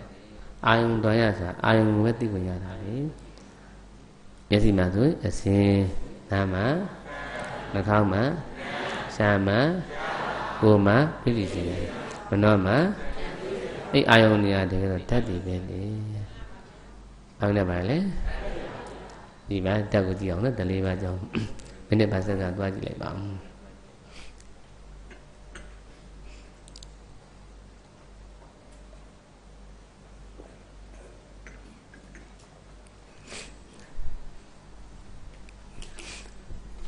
ဒီဓာတ်နဲ့ပတ်သက်တာမှာအထည်ပစ္စည်းတွေကိုဓာတ်ခွဲရတာကဲရှုံရင်ရှုံမယ်မနှောပေါ်တဲ့တွေးစရာကိုဓာတ်ခွဲလို့ရှိရင်ပိုရှင်းပါမယ်နော်အဲဖွဲ့တယ်ဆိုရင်မနှောကြတော့တဲ့ဒုက္ခမြောက်ဆက်မှာအာဘောကခေါင်းဆောင်တဲ့ဖွဲ့စည်းအာဘောခေါင်းဆောင်ဒီမှာတလေးဘက်မှာပထဝီဆိုတာကမြေကြီးပြောတာမဟုတ်ဘူးနော်အထက်တတ်တာမရှိဘူးတုံးခဲမဟုတ်ဘူး ပရိမာကခက်မှပထဝီညပထဝီလို့သူတို့သုံးတယ်။ကင်လို့ရရင်တဲ့ခက်မှပထဝီလို့ဒါကအမှုတွေမွန်းချင်းစာပဲဆုံးပါခဲ့တာနော်။ကင်လို့မရရင်နုညပထဝီအကျမ်းလို့ယူပါတယ်။လို့ယူလဲအကျမ်းလို့ပဲယူရနော်။မှဖြစ်ဘုန်းကြီးတို့စိတ်ကူးတဲ့ပုံခုနေကဲကိုရှိမှာအာတရားမီးရက်နေတယ်လို့ပြောလိုက်လေအေးပေါ်မလားဘူးလား။ ဒါကိုနေတဲ့အိမ်လို့ပြောလဲရေးပေါ်မလာဘူးလားရှိတယ်နော်ကြိုင်လို့ရလားဒီအတွေးပေါ်ရေးဒီကနုညက်ပထဝီထဲမှာထည့်လို့ရတယ်ဟုတ်ပေါ့လားအဲတေသောနဲ့ဝါရောကြတော့ပါတဲ့ငုတ်လျုပ်ပြီးပါပါတယ်မထင်ရှားတော့ဘူးဒီလက်တလေးပါဘလို့မှခွဲမရဘူးနော်ဘုရားမူတာပိုင်းခြားပြနေတာတခုပါအကုန်ပါတာနော်အဲမနှောမှာကြတော့ဖွဲ့စည်းအာဘွားခေါင်းဆောင်တဲ့ဖွဲ့စည်းအာဘွား ခေါင်းဆောင်ဖွဲ့လိုက်ခါမှပေါ်လာဘူးဟုတ်ပါလားအာယုံဖွဲ့မှာပေါ်မဖွဲ့ပေါ်ပါမလားအားစိတ်မဖွဲ့မပေါ်ဘူးနော်ကဲကြိုက်တီကိုဖျားဆိုကြစိတ်ကဖွဲ့လိုက်ပါအောင်ပေါ်မလားလားဟုတ်လားအဲထက်မဖွဲ့ဘူးဆိုရင်ပြောက်မကောင်းဘူးလားပြင်းတယ်ပွဲစည်းရအောင်ကောင်းတော့လေအော်တေဇောတတ်ဆိုလည်းမှတ်ပါဦးနော်ပူတာလည်းတေဇောအေးတာလည်းတေဇောတဲ့အေးလည်းတေဇောပူလည်းတေဇောနော် ဝါရောက်တဲ့ကျတော့ထောက်တန်လှုပ်ရှားခေါ်တယ်ထောက်တန်သူကတော့တင်းပြီးမာတယ်လေတေဇောပဲအဝါရောပဲအေးပြီးလှုပ်ရှားလဲဝါရောပဲဘုရားကတော့သိဆိုလို့ရှိရင်တဲ့ဒီလေးခုဒီကြိမ်လေးကိုဘုရားခွဲနိုင်တာပေါ့နော်ဘုန်းကြီးကတော့ခံစားကြည့်ရင်တဲ့အဲ့ဓာတ်လေးပါးမှာ၃ပါးကကိုမှာပေါ်တဲ့အာယုံလို့ယူပါကိုယ်ကာယပဒမှာဓာတ်၃ပါးသိခွင့်ရတယ် ကိုမှာဘယ်နှပါလဲ၄ပါးတဲ့၃ပါးသိခွင့်ရတာနော်တဏှာ၅ပါးဆိုရင်ဘယ်နှပါးသိရမှာ၃ပါးသိရ၃ပါးလဲဘုန်းတော်တပေါင်းနဲ့၃ပါးလုံးတစ်ပြိုင်တည်းမသိနိုင်ဘူးနော်တစ်ခုချင်းခွဲယူပါကိုမှာဆိုရင်ကြအဲ့လိုကင်တယ်လို့ရတာနဲ့ဆိုရင်ခက်မှာပတိဖြစ်မနေဘူးလားကဲကင်ကြည့်မယ်ကိုလည်းကိုကင်ကြည့်နော်ပြီးရင်အေးတာနှွေးတာရှိမနေဘူးလားအဲနှွေးလေးလေးဆိုရင်အုံနာတေသောပြီးရင်တိတတ်တော့ပါပဲ အေးလူကလေးပူတာလေးအေးတာလေးခံစားရရင်တေသောလို့မှတ်တယ်ဟဲ့မနော်အားလေးနဲ့ဖိကြည့်လို့ရှိရင်တင်းမနေဘူးလားအဲထောက်ကံဝါရောအိသွားရင်လှုပ်ရှားဝါရောပေါ့တော့ပေါ့လားကဲအသက်လို့ရှူမယ်ကဲကိုမှာပဲနော်ရှူလိုက်လို့ရှိရင်ကဲပြေးပြီးတင်းမလာဘူးလားအဲထောက်ကံဝါရောလေထုတ်လိုက်တယ်ငယ်ရောပြီးအိမလာဘူးလားအဲလှုပ်ရှားဝါရောလို့ပြောနားလည်မလားနားလည်တယ်နော် အဲကိုမှသိခွင့်ရတဲ့ခန္ဓာ၅ပါးရဲ့သဘောကကိုမှဆိုရင်ဒီဝါရောဓာတ်သုံးပါးလားသိခွင့်ရတယ်အဲ့ထက်ထဲမှာထင်ရှားတာတေသောဝါရောတစ်ခုထင်ရှားပါတယ်တချင်းချင်းနဲ့လောင်းပြီးတော့လှုပ်ရှားတာသိမနေရဘူးလားဒါဆိုကိုမှပေါ်တဲ့ခန္ဓာ၅ပါးကအဲ့အတိဖြစ်မှာဓာတ်သုံးပါးမှာတစ်ပါးပုံထင်ရှားတယ်ဟုတ်ပါလားအာဘောမသိနိုင်ဘူးနော်အဲအာဝယူစည်းအာဘောဖွဲ့စည်းအာဘောမနှောမှသာလေအာဘောကသိခွင့်ရတယ်လို့သိရတယ် ဖွဲ့လိုက်တာပေါ့ဟုတ်ပါလားအဲ့တော့တခါမိရတဲ့ယုတ်တဲ့ဒီလေးလက်လေးပါမြတ်လို့ရှိရင်ရုပ်တမပေါ်တာဘူးနော်ရုပ်တွေမှာဒီဓာတ်တွေပါတာခံစားလို့ရတယ်တဲ့ဟုတ်လေနော်ဥမာဖြင့်ဒီလိုပန်းလေးတစ်ဝက်ပဲဖြစ်ဖြစ်ပေါ့နော်ပြီးလိုက်လို့ရှိရင်ဒါလေးတွေမှာလည်းပဲယုတ်ကလအမုံလေးတွေမရှိဘူးလားတပွဲလောက်ချွေကြည့်မယ်နော် ဒါနော်ဒီနော်သူ့ကိုကြိတ်ချလိုက်မယ်ဆိုရင်ဘုန်းတို့ဒီသိပ္ပံလောကအရာတော့အမှန်သေးငယ်တဲ့ကလပ်စီလေးတွေမော်လီကျူးလေးတွေဖွဲ့ထားတာမလားအဲ့လေနော်ဒီထဲမှာကခုနဓာတ်လေးပါအကုန်ပါတယ်အဲ့လေမလားဖွဲ့စည်းတာလည်းပါတယ်ပရိယောတေရောပါမနေဘူးလားဒါလေးမျှမှာရုပ်လက်တပုံပေါ်လာတာ哦ဟုတ်တယ်လေနော်အကုန်စုံလို့မလို့ဒါပေါ်တာနော် အဲ့မှာမိတဲ့ရုပ်ကအရာပါမနေဘူးလားအနာရောမရှိဘူးလားဝိညာဉ်ကဏ္ဍအရာတော့မရှိဘူးလားသဘောတည်းနော်ဩဇာတက်ဆိုတာသူ့မှာတတိရှိနေတယ်ဒီနော်ဒီမှာကဘုလို့ခုနပြောရတယ်အယောင်တက်ကမျက်လုံးအတွက်ထင်ရှားတယ်ဝိညာဉ်ကဘာအတွက်လဲမျက်လုံးအတွက်ဒီမှာပေါင်းနေတာနော်တက်ကလိုက်ရှင်ပါတပေါင်းနဲ့ရှိနေတာပထဝီရဲ့ဧသောရဲ့ အာဘောရေဝေနာခန္ဓာတတ္တဩဇာတတ္တငုတ်နေသေးတယ်နော်အဲ့တော့အယောင်ကတော့ဒီမှာပါမနေဘူးလားပါနေတယ်နော်ဒါကအဲ့ဒါကမျက်စိအတွက်ဒါအနက်ကဘာတော့လဲနှာခေါင်းတော့သူ့ဝါးစားရဲ့အရသာမပေါ်ဘူးလားရှားကြီးအတွက်ခန္ဓာငါးပေါ်တာစုံတာနော်ဒီမှာအတန်တတ္တငုတ်နေတယ်တတ္တကယုတ်ကလတ်ကြီးတဲ့အပြင်းထန်ပေါက်ကွဲမှာအတန်ထွက်တာ ဒါကိုပုတ်ကြည့်လိုက်မယ်ဖတ်မနေဘူးလားဝမ်းမတန်နဲ့တော့အများကြီးပြည့်စည်ပေါ်မယ်အမျက်နှာပြည့်စည်တော့မှအတန်ဖတ်တာဟုတ်ပါလားတာတာရှိမနေဘူးလားဒီနေ့ခြေလိုက်ရင်အတန်ဖတ်မလာဘူးလားအမင်းရှိနေတယ်အဲ့ဒါကကာယပဒနာတွေ့ကြတော့တဲ့ဒါကိုမျက်စိနဲ့ခံကြီးတော့ရည်ရမှာကဲမာခဲခဲလေးမတွေ့ရဘူးလားအဲတွေ့တယ်ဆိုရင်ကြိုင်လို့ရတာခက်မှပထူဖြစ်နေတယ် ဟုတ်ပါလားပြီးရင်အဲ့မှာအေးတာပူတာမရှိဘူးလားအတေသောဒါလည်းပဲနော်ဖိလိုက်ရင်တင်းခံနေထောက်ကံဝါရောဣပါရင်လှုပ်ရှားဝါရောဓာတ်သုံးပါးသိခွင့်ရတယ်။ဓမ္မနောကြတော့ဟာတဲ့မျက်စိမိပုံဖွဲ့လိုက်ရင်တော့ပန်းပုံလေးပေါ်မလာဘူးလား။တော့ပေါ့တယ်လား။ရမယ်နော်။တော့ပေါ့ပြီနော်။အမြင်အားလုံးရုပ်ဥထုအားလုံးအဆိုင်ကျဖြစ်လာပြီဆိုရင်တဲ့ ဒီအထက်ကလေးရှိပါတဘောင်းနဲ့ပါအကုန်လုံးနော်။လက်လိုက်ပြီလား။သို့တော့အောင်တော်ရဒီမှာဘာရဒီမှာဒီအစင်းပြီးတော့အတန်အနက်အရဒါအမိယုတ်တွေနော်အမိယုတ်တွေနော်ကိုမှကြတော့ဓာတ်သုံးပါဟုတ်ပါလားအဲမနှောကြတော့ဖွဲ့လိုက်တယ်ဖွဲ့စီအောင်ကျပုံရေးပေါ်တယ်ရပြီနော်တတ္တဝအထေပါလား အဲလူရင်းကတော့တတ္တဝအထေမပါကြောင်းတည်လုံလောက်ပြီဟုတ်ပါလားလဲလိမ့်ပြီနော်အဲနံလေးပါးကလေတတ္တဝအထေပါလားပါဘူးနားလည်ပြီနော်အဲ့တော့တပားဖြေတာကအဓိကဓလေးပါအဓိကထားတာ哦ဓလေးပါရှိရင်ကျန်တယ်ပါမပေါင်းလားအမြုပ်တယ်ဆိုတာကြက်ပါလားအမြင်ဘာတိတိတာကြဓာတ်ကိုပဲသိခွင့်ရတာလေမမောလားနားလည်တယ်နော် အာယုဆိုတာအစင်းအစင်းတွေကဒီဓလေးပါမှာမှီထားတဲ့ဓလေးဖို့လို့ရုပ်မှီထားတယ်အစင်းတက်ဖြစ်တာကိုဒါဆိုရင်ကျန်တဲ့ငုတ်ငုတ်ပါကျန်တဲ့တက်ရငုတ်ပါမလားလားဘာပါအောင်လဲကဲအတန်တက်ကလည်းပဲဓလေးပါပြီးပြီးတော့ပေါက်ကွဲလို့ဖြစ်တာမလားဟုတ်လားနားလည်တယ်နော်အနက်ကဟောအမိရုပ်မှာဓလေးပါနဲ့กินလားกินမှုတရားသာလည်းဓလေးပါနဲ့กินလားกินမှုနားလည်ပြီနော် ဩဇာတက်ကလည်းဒီမှာခဏပြန်မလို့ဘူးနော်သူဝါးစားရင်တော့အခုတော့ဖြစ်မှတေးကြတယ်ပိုင်းဝင်ဝါးစားလိုက်တော့အခုတော့တက်ပြီးသွားမှာပဲနော်ရုပ်တရားမှုရှိတာပေါ့ရမလားကောင်းပြီဒါမြင်တပားဖြေတာကပေါ်သမျှအားလုံးတဲ့ခန္ဓာ၅ပါးသဘောင်းနဲ့ဖြစ်တဲ့နေရာမှာဓာတ်ကိုသိခွင့်ရတာမလို့ငါဓာတ်ကိုပဲကြည်တာတဏ္ဍဘောတရားဆိုရဲ့ဖြစ်တဲ့သဘောကတတ်တော်တယ်မပါပဲနဲ့တဲ့ဖြစ်တဲ့သဘောနှလုံးသွင်းတာသွင်းနဲ့ အမြဲမှကိလေသာတတ္တိခန်းတယ်လို့ဖြစ်တယ်ဟုတ်ပါ့လားတပားကသတ္တ6ပါးတပားကခန္ဓာ5ပါးတပားကဓာတ်4ပါးရမယ်နော်ဒီထောင်းတော့ဓာတ်တွေဘယ်လောက်ရှိနေနေအိပ်ပြုံနေသိပါမလားအောင်သွားမှာခန္ဓာ၅ပါးစုံလို့ပေါ့ဟုတ်ပါရဲ့လားဒီထားနော်ကောင်းပြီနောက်ဆုံးတစ်ပတ်သွားပြီးတော့တဲ့ဒီတိုင်းဖြေတယ်ဘယ်လိုဖြေတော့ဉာဏ်ကိန်း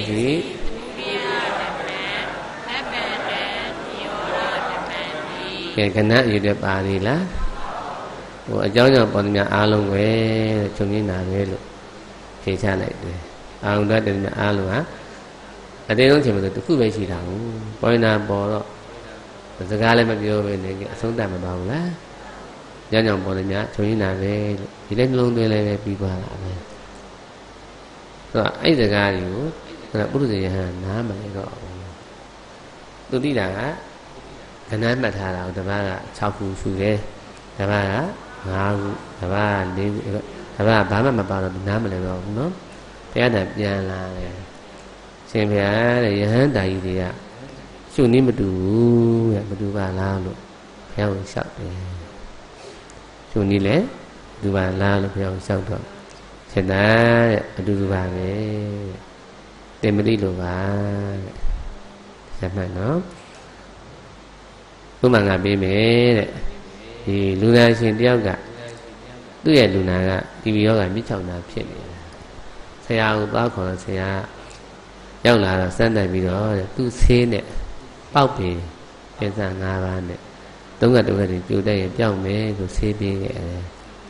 ရှင်သာတဲ့လူနာရှင်ကပေါက်ပြီးအရှာထွက်တယ်တဲ့ဆိုတော့ပေါက်ပြီးမမြင်ဘူးတဲ့မမြင်ဘူးတဲ့နော်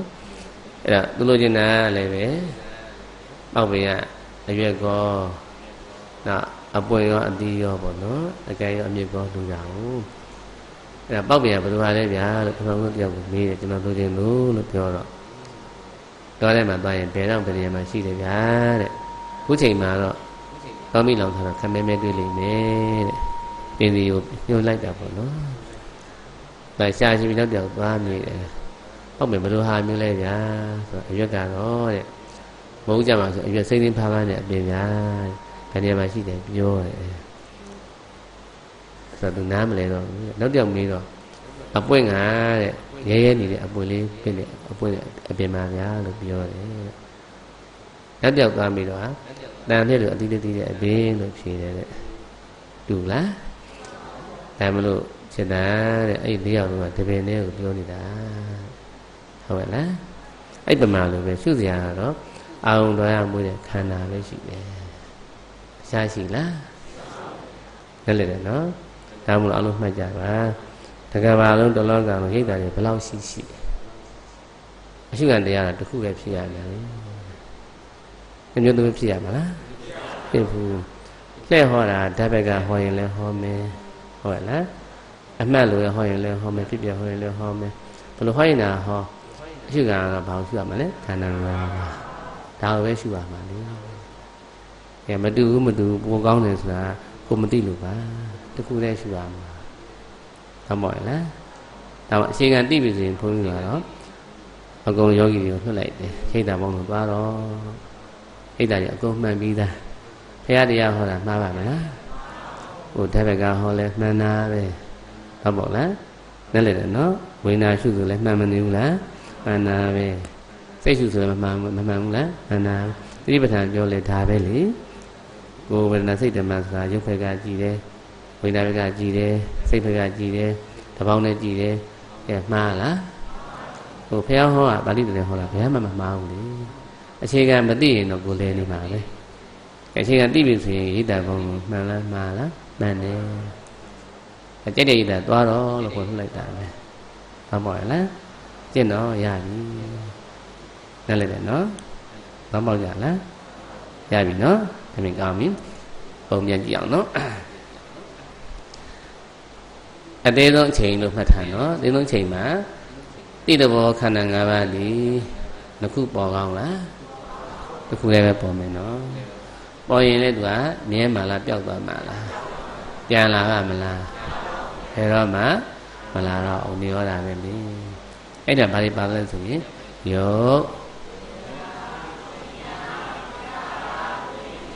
ပြန်မလာဘူးဆိုရင်ဒါဆုံးတာပဲပေါ့ဟုတ်လားဝိညာဆုံးဆုံးဆိုတာသူ့တဘာတရားဆုံးပြီးသားတမင်ဆုံးအောင်လိုက်ရတာမဟုတ်ဘူးသူတော်ကအမှန်တန်ဉာဏ်နဲ့သိတတ်တော်အထဲမပါသေးနဲ့နော်မတိသူတော်တရားအဆုံးပြီးသားအဆုံးရှိပြီးသားအမှန်ရှိပြီးသားတမင်ဆုံးအောင်လုပ်ရတာမဟုတ်ဘူးဖြစ်ပြဆုံးဆံလည်းပဲသူတော်တရားအဆုံးပြီးသားအမှန်ဆုံးရတယ်သူတို့ဆုံးပြီးသား ဟုတ်ပါလားညမမလာတာသို့တော့ဒီညမလိုက်နိုင်တာဖြစ်တာဟုတ်ပါလားနားလည်တယ်နော်ဒီနေ့မှအမှန်ကတော့အောင်တတ်တဲ့ခန္ဓာကပေါ်ပြောင်းမသွားဘူးလားဖြစ်ပြအမှန်ရှိနေတယ်လူနားလည်တယ်နော်ကဲအဲ့ချိန်လေးပဲကြည့်အောင်နော်ဉာဏ်လဲလာလို့ရှိရင်တော့တတ်တော်အထင်မပါပဲနဲ့အဆုံးတတ်တယ်မတွေ့ရဘူးလားကဲအလင်းလေးဖယ်လိုက်ပြင်သွားပြီ ဓာမီလေးမိန်လို့မိန်သွားရင်ပြန်တွေးကြပေါ်တဲ့အမူအရာကိုကြည့်မယ်အဲ့ကြတော့အကောင်းထင်တယ်လို့ထင်လဲအကောင်းထင်တဲ့မျက်နှာအမူအရာကြီးကိုအထည်ထင်တယ်လက်တည်ရှိတဲ့အထည်ထင်တော့မှငါလို့ထင်တယ်ပြီးတော့မှငါ့ကိုထဲတာငါလာလို့ထင်တယ်ဟုတ်ပါလားပြီးရင်ငါပစ္စည်းလို့ထင်မြန်တယ်ငါရင်ထင်မြန်တယ်အမှန်လားအမှားလားအဝိဇ္ဇာအောက်ရောက်သွားပြီလေဟုတ်ပါလား နည်းလိုက်တယ်နော်အမှန်ဖုံးလို့ဝိဇ္ဇာပဲပညာကူးသွားပြီဆိုရင်တော့အဲ့မှာတဏှာဥပါဒံကံကုသိုလ်အကုသိုလ်ကံရှိတယ်ကမ္မတတ္တိတွေရှိတယ်ကံကျိုးတွေရှိမလားဘူးလားအကုန်ရှုပ်ကုန်ပြီမပြီးတော့ဘူးတဏှာမဆုံးတော့ဘူးတဏှာအစဉ်တန်းတာပဲမပေါ့မလားကဲဖះပြည့်ကအလင်းတက်နဲ့ကြီးလိုက်တဲ့ခါကျတော့ဗာတတ်တော့အထည်ရှိသေးလားမြဲမလားပြောက်မလားကံလာကမလားဟိုရှင်းရှင်းလေးတွေ့ရတယ်လေသိပြီလား အဲညံဖယ်လိုက်ရင်တော့အထက်ထင်ငါပြန်ပေါ်မလာဘူးလားဟောလာပဲသိပြီလားနားလည်တယ်နော်ဗတနာအစဆိုတာဟာတကယ်တော့ဟာစိတ်အမြင်မှန်နဲ့စိတ်အမြင်မှန်အစပဲသိပြီလားဟောတယ်နော်ပါပြီထမင်းအလုံးကြည့်အောင်နော်ဒီနေ့မှဘုန်းတို့နည်းနည်းထပ်ပြီးတော့ရှင်းပြအောင်မနော်ကာလသုံးပါလွတ်တယ်ဆိုစကားလေးကအကြီးကြီးပဲနဲ့ ရှုမှတ်တဲ့ခါမှာကာလသုံးပါမှာလွတ်တယ်တဲ့တဏှာမရှိတဲ့သဘောနိဗ္ဗာန်သဘောကြီးနိဗ္ဗာန်သဘောကကာလသုံးပါးမှလွတ်၏လို့ညပါကြမှာဟုတ်လို့သင်ရမှုတယ်နော်အဲကာလသုံးပါးတက်တယ်ဆိုတဲ့စကားလေးတွေကချိန်ကာလဆိုတာဒီတကယ်တော့အခေါ်တက်တယ်ပဲတဲ့သူပညာလို့ခေါ်တယ်နော်တကယ်ရှိတဲ့တရားပရမတ္ထမဟုတ်ဘူးတဲ့ အဲမလို့ကြိုက်တဲ့ပေါ်တတ်မှတ်ခွင့်ရှိတယ်ရှင်းတော့ကဘုလို့နေနာယူဆိုတာရှိတယ်တရားထွက်လို့ရှိရင်ဒီကိုခြေတော့ခြေဖွားတန်းရတယ်တင်းချင်းရဲ့စာပြီးတန်းရတယ်မလေးဖွားငါးဖွားပြီးပိုးတဖီလာမငါးဖွားတဖီလာနဲ့ရဟန်းဖြစ်တယ်ဘယ်ဟာဒီမှာဖြစ်တယ်လို့ရေးကြရတယ်နေမထွက်လို့ရှိရင်တော့ဖလားလေးတိတိတိကိုဖလားကိုနော်ဒီဖလားလေးဖင်ဖောက်ရတယ်ဒီစလုံးထဲမှာစိန်ထားရတယ် စိန်ထားပြီးဖလားမျိုးလို့ရှိရင်တဏှာကြီးတက်မှတ်လို့လုပ်ကြရတယ်ဟိနာကြီးလို့ခေါ်ကြရတယ်နောက်ကိုယ်လေးဝါပြီးကွန်းတရားရဲ့လို့တက်မှတ်ကြရတယ်ဟုတ်ပါမလားအဲနောက်ဒီ7နိုင်တွေပေါ်လာတယ်လေ7နိုင်ပေါ်တဲ့ခါကျတော့ကဲခဏလေးတွေကကျွန်တော်ဘယ်နာလေးလို့စကားပြောလားဟောကိုယ့်ကိုတတ်မှတ်တာပဲရှိတယ်ဒီတော့ကအချိန်ကြီးတကယ်မရှိတော့ကြောင့်ကြိုက်တဲ့ပုံမှာရွှေပြောင်းတတ်မှတ်လို့ရတယ်ဟုတ်ပါလားအထာနော်ကောင်း ဒီမှာလဲပဲတိသဘောတရားခန္ဓာ၅ပါးကိုဘုရားရှင်ကအချိန်ထားလိုက်ဇမတ်ဒီဇမတ်နော်ဒီဥက္ကဋ္ဌနဲ့ဂျွန်နမအကြောင်းဘုရားဖတ်တော်မှပိုရှင်းပါတယ်ဒါလေးလည်းဘုရားမှတ်ထားနော်ဘုရားရက်နာကြီးအပြည့်ဟောမယ်အခါဘုရားနိုင်နေလို့ကျုပ်ဟောနေရတာနော်ဒါကနိုင်ပေါင်း20လောက်ဟောမှလုံလောက်တဲ့တရားတွေညာဘက်ကိုတောင်းတောင်းဘုရားဟောခဲ့တယ် တရားလဲဆိုဘလို့မှဟောလို့မရလို့ငါးညတောင်းထားတာနော်ဟုတ်ဘူးလည်းငါးညတောင်မလုံလောက်ဘူးနော်ကျိုးသားတာမှတ်နော်ဒီဥက္ကဋ္ဌဂျွန်နမကဝါးတိုင်ထိတ်လာပဲယဟန်တာတဲ့ပုဂ္ဂိုလ်ဓမ္မထိတာလဲဝါးတိုင်ထိတ်နော်ကံလည်းပြီးတဲ့ဘွားကဒီကမ္မတတိအရှင်ကောင်းခဲ့တယ်တဲ့ခင်ဗျားညခီးသွားရင်းနဲ့တဲနဲ့သွားရင်းနဲ့ပိစိကဗုဒ္ဓတပါးကိုဆုံးခံတာတွေ့ရတော့ရပ်ပါအောင်ဘုရားဆိုပြီးတော့ဆောင်းလောင်းကြတယ် မနဝန္တာပိတိအရှင်နဲ့ဆိုကုသိုလ်ပေါ့နော်ဓာတ်ပြုပုံပြီတဲ့နှလုံးသွင်းတော့စွားတယ်ဝင်နေပြီပေါ့နော်ပြီးတော့မှဤကောင်းမှုကစိတ်နာအရှင်ကြောင့်ဘုရားတဲ့အကျိုးပေးတဲ့ကအရှင်ဘုရားတို့လို့ကျွန်တော်တို့သိတဲ့တရားကိုသိပြီးတော့ဘဝအဆုံးကိုရောက်ရပါလို့ဤဆိုတော့ကြတယ်။ဘာလဲပြည့်သေးဆိုကြပါတယ်နော်။အဲ့ဒီအရှင်ရလိုက်ပြီ။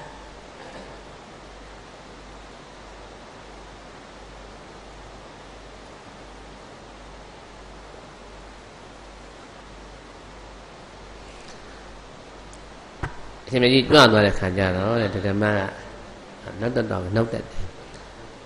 တော့ရေးတဲ့အရှင်မကြီးပြုံးရှင်တဲ့တော့တဲ့ကကြီးတဲ့တူတယ်လို့နောက်လိုက်တာပြောပုံပေါ်မသွားဘူးလားအဲဒါလည်းပဲအရှင်ဟိုရိုက်ခံသွားတာပဲလေတက်တီလည်းကိန်းတော့တာပဲတန်မြန်မှထားရတာနော်ဒီဘက်ကြတော့ယောက်ျားတခါယောက်ျားလည်းအင်းလီလို့လိုက်ခဲ့တာနော်အေးဟုတ်တယ်လို့ပြောလိုက်ခဲ့တာအဲစိတ်တူသူဖြစ်မသွားဘူးလား အေးကောင်းတူတယ်နော်ဟုတ်တယ်ဒီဘက်ယောက်ျားကနောက်မှပြောတော့ကြောင်းတဲ့ပထမဦးဆိုယောက်ျားကတတိတာသွားဖြစ်တယ်တဲ့မိမတော့အားဆိုင်ကုန်တဲ့အစီရပြောတော့ကြောင့်စဆိုင်ပထမအရွယ်တည်းကကလေးပွားတည်းကဇွန်းကတဲ့အမျိုးတွေမှာသွားဖြစ်တာအိန္ဒိယမှာကုသရှိသေးတယ်နော်တိုင်လေးတွေထောင်ကျိုးလေးလို့ဘာလို့မလဲစောင့်ကြည့်တော့ကျတော့ကလေးလေးတက်ပြီးဇွန်းကကြတာ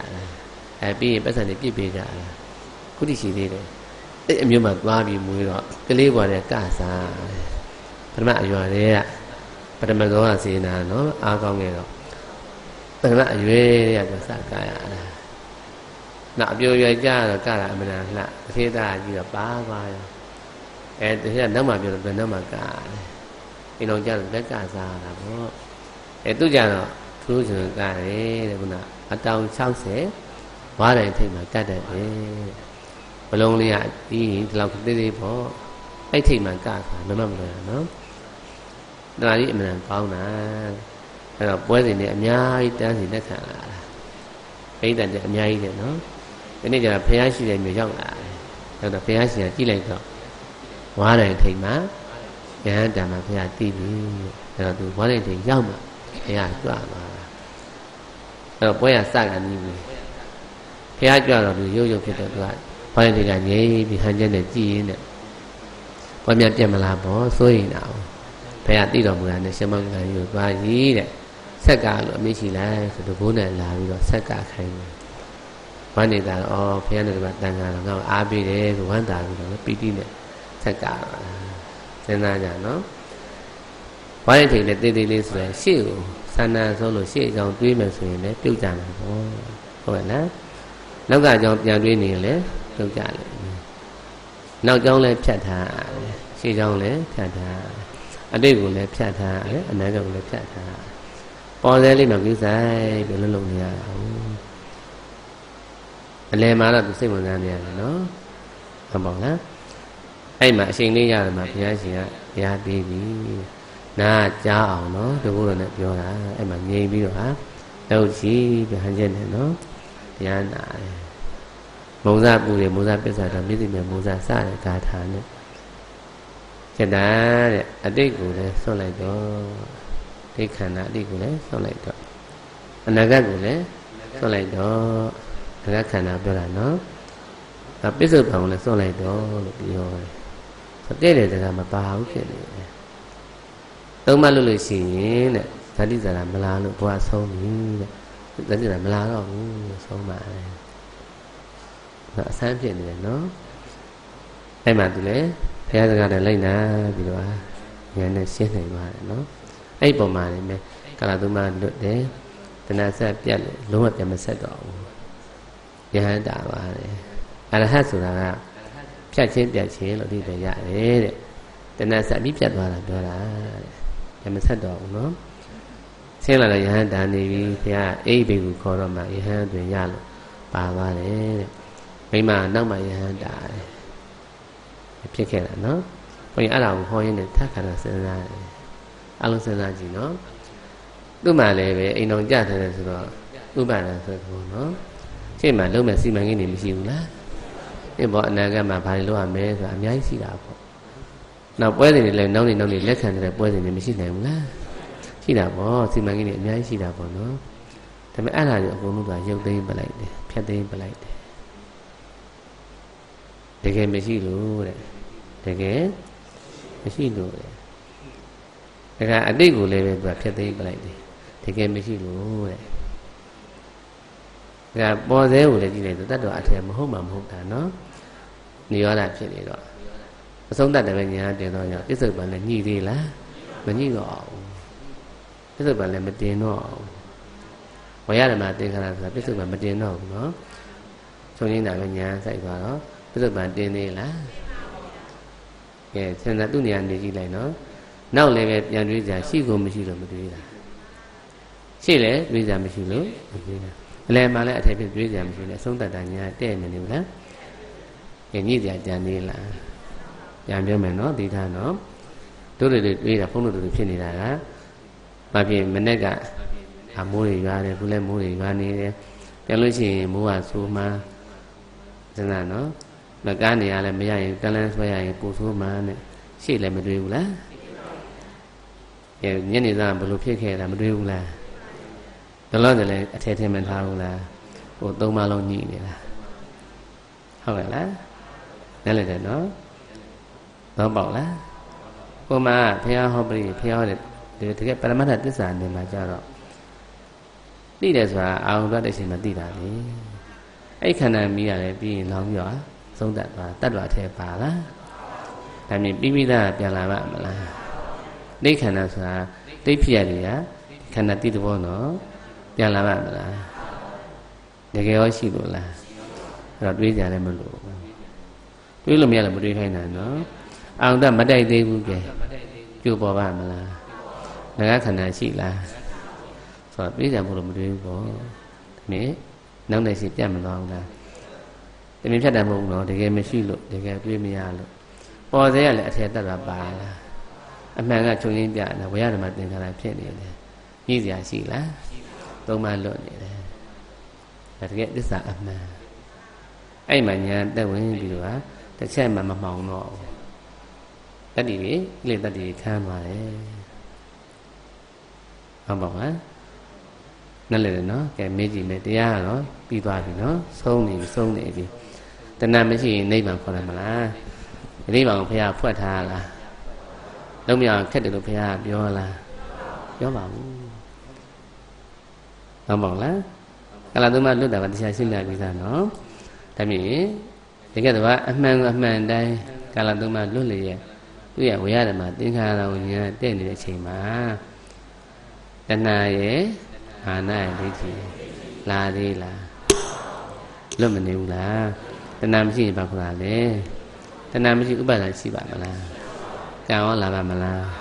ဓာတိလာပါမလားဟိုပြီးနေပြီလေခဏိဗ္ဗာန်ဖះဖွက်ထားလားဖွက်ပါဘူးရှင်းရှင်းကြီးပါအဲ့ဒီမေးမယ်အလုံးကဲနော်တရားဆုံးပြီဆိုလိုက်နေမလိုက်နေကြည့်တော့ခုအလုံးအကဲအတိတ်ခန္ဓာရှိမရှိရှာအောင်ပြီးတယ်ဖြစ်ရဘုရားကတော့ ဒီဘတ်တွေကတတုတ်တန်ဆိုတာဘုရားဟောတာရှိတယ်လက်တွေကျိတ်လို့လေးကတော့ဟောရတာအဆန်းအဆန်းဒီဥပဒိပါဏတမှာရှိတယ်နော်ဥပဒိပါဏတမှာရှိတယ်နော်နေခန္ဓာကိုအစင်မလဲရဘူးတဲ့အနဂတ်ခန္ဓာမတောင်းတရတဲ့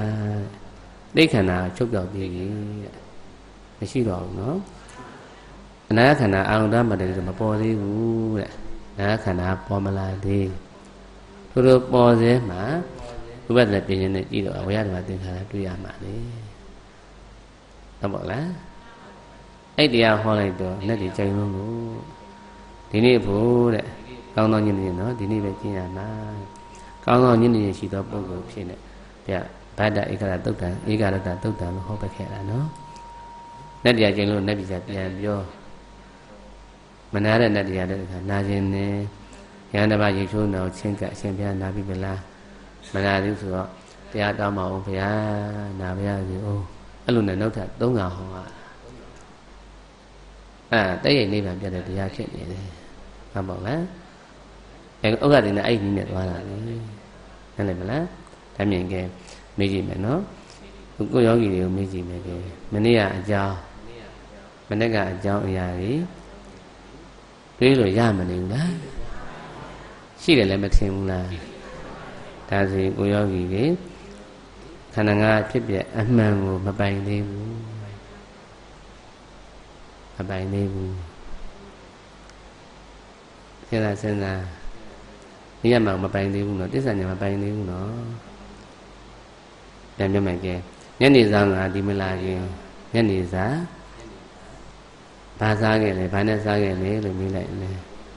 စားတဲ့အမူအရာပေါ်မလာဘူးလား ပေါ်လာဟာညနေတုန်းကယုံနာခန္ဓာဒီမှာလာပေါ်လာလားအခုတွေးလို့ဒါမြင်အတိတ်ကဖြစ်ရဟုတ်လို့လားဒါမြင်အတိတ်ကခန္ဓာတွေးလို့ရတယ်လားမဲ့လောကသမုဒိတစ္ဆာမှာတော့ရတယ်လေလောကတစ္ဆာမှာရတယ်နော်မဲ့ပရမတ္တတစ္ဆာနေမှာကျတော့အတိတ်ခန္ဓာဟုတ်သေးလားအတိတ်ဖြစ်ရတယ်တွေးလို့ရလားသိကြလား အခုတွေးလို့အခုပေါ်တော့အထဲထင်းနဲ့တိတ်ထင်းတာဟုတ်ကောဟုတ်လားဟုတ်ဘူးဟုတ်ပါလားပြီးတဲ့အချိန်ဆက်ကမိနစ်ကဖြစ်တဲ့ခန္ဓာတိတဲ့ဘောအမူအရာကပြန်ကုန်မလာတော့ရှိကုန်မရှိတာအခုတွေးလို့အခုပေါ်တော့အထဲလုံးတဲ့အတိတ်ထင်းတာမှန်လားမှန်လားအဲ့ဒါကိရိတာအမှားပဲဟောဖယ်လိုက်အဲ့လည်းမလားကဲအနာဂတ်ကတွေးလို့ရလဲစဉ်းစားရအောင်နော်ပြီးလို့ရှိရင်ဘုရားကားနဲ့ပြန်ညမယ်အိမ်ကြရင် အကြောင်းညာဖြစ်ပြီးအိတ်တော်မယ်လို့ဆိုရင်အိယာတွေပေါ်မလာဘူးလားဒါမဲ့နာကြီးကယုံနာလာပေါ်လာလားအခုတွေးလို့အနဂတ်ခန္ဓာပေါ်သေးလို့လားအောင်တမတိုက်သေးဘူးလေအခုတိုက်လို့ခုပေါ်တာမလားအဲ့ဒါအထည်ထင်တဲ့အပြင်ကိုအမှားကြတော့အမှန်ဖြစ်အခေါ်ပမာလိုက်သွားလို့အနဂတ်ထင်တာဟုတ်ရဲ့လားအဲ့ဒါအစွဲနာနေတာနားလည်တယ်နော် ခုပြောသေးမှလည်းအထက်တော့ပါလားမြဲမလားပြောပြမလားကြီးစရာမရှိဘူးလေဒီမှာအမှန်တစ္ဆာနေနော်ပရမတ္တတစ္ဆာနေမှာရှင်းရှင်းလေးမရှုပ်ဘူးဝိဇ္ဇာဖုံးသွားလို့သမုဒိတစ္ဆာကူးသွားရင်တော့ရှုပ်ပြီအတိတ်ကနေကပြစ္ဆုတ်ပါရှိတယ်တတ္တအထေရှိတယ်အဖေမေရှိတယ်ကျေးဇူးတွေကံတွေရှိတယ်ဟုတ်ပါလားဒါတော့ကနေမှာသုံးတော့ကုသိုလ်ဖြစ်အောင်လဲလုပ်ရမယ်အဲပရမတ္တတစ္ဆာနေကူးပြီဆိုရင်တော့ တတ္တအထဲမပါတော့ဘူးဒိဋ္ဌခန္ဓာလည်းတကယ်မရှိတော့ဘူးနာဂခန္ဓာရောဟောဘူးပြစ္ဆုတ်ပန်လည်းတင်ပြရှိလားမကိုလွတ်နေတယ်ဟုတ်ပါလားဒါမှမဟုတ်ရှင်းစရာများဆုံးပါတယ်သမုဒိပစ္စာလည်းအစုမနာပါစေနဲ့ပရမတ္ထပစ္စာလည်းနည်းမကြောပါစေနဲ့တမ်းပြောပါအောင်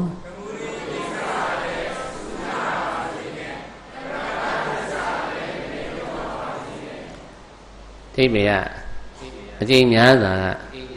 ခေါင်းလက်ရှိကိုငါငါဥစ္စာငါပစ္စည်းမနဲ့ဖန်တမဲ့ကစတဲ့စီမံနာရအကျင့်များမနေဘူးလားအစွဲနာမနေဘူးလားတရားမနေကူလဲကူရောအစုနာတော့ဘလို့မှနားမလည်နိုင်ဘူးဟုတ်ပါလားနဲ့တဲ့တော့ဒီကပရမတ္တသစ္စာနေမှာကြတော့ဟာ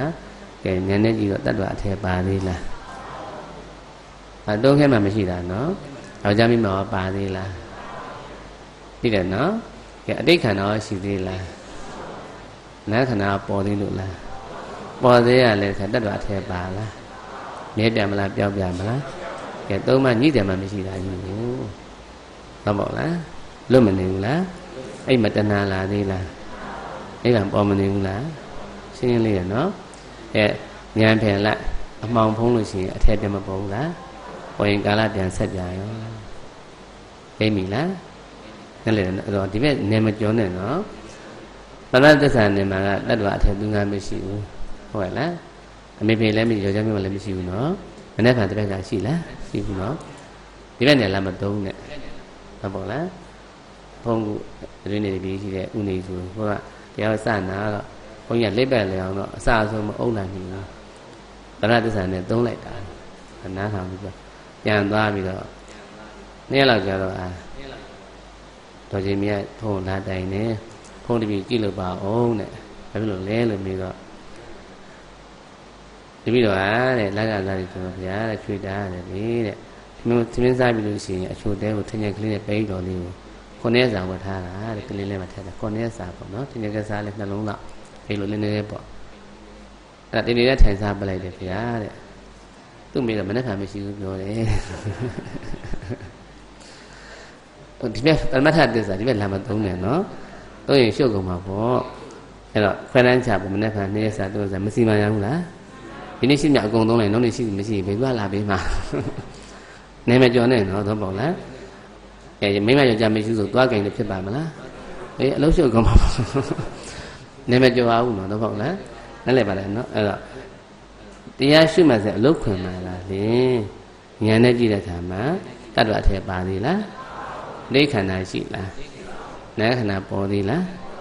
ပေါ်သေးရလည်းပဲတတ္တဝသူရှင်လည်းဝေရတယ်မှာကုန်ခန်းတယ်ပဲမြင်တော့ကြောင့်စဉ်းစားကြည့်မြည်စရာကြံသေးလားဟိုလွတ်မြောက်ပြီလေကဲညာပြန်လိုက်လို့ရှိရင်အထက်ပြန်မပေါ်ဘူးလားပေါ်ရင်ကာလပြန်မဆက်ဘူးလားအဲသူငါတတ္တဝပေါ်လို့ရှိရင်မေတ္တာပေါင်းလိုက်ဘာပေါင်းမလဲမေတ္တာပေါင်းရင်ကုသိုလ်ဖြစ်အဆန်လန်းပေါ့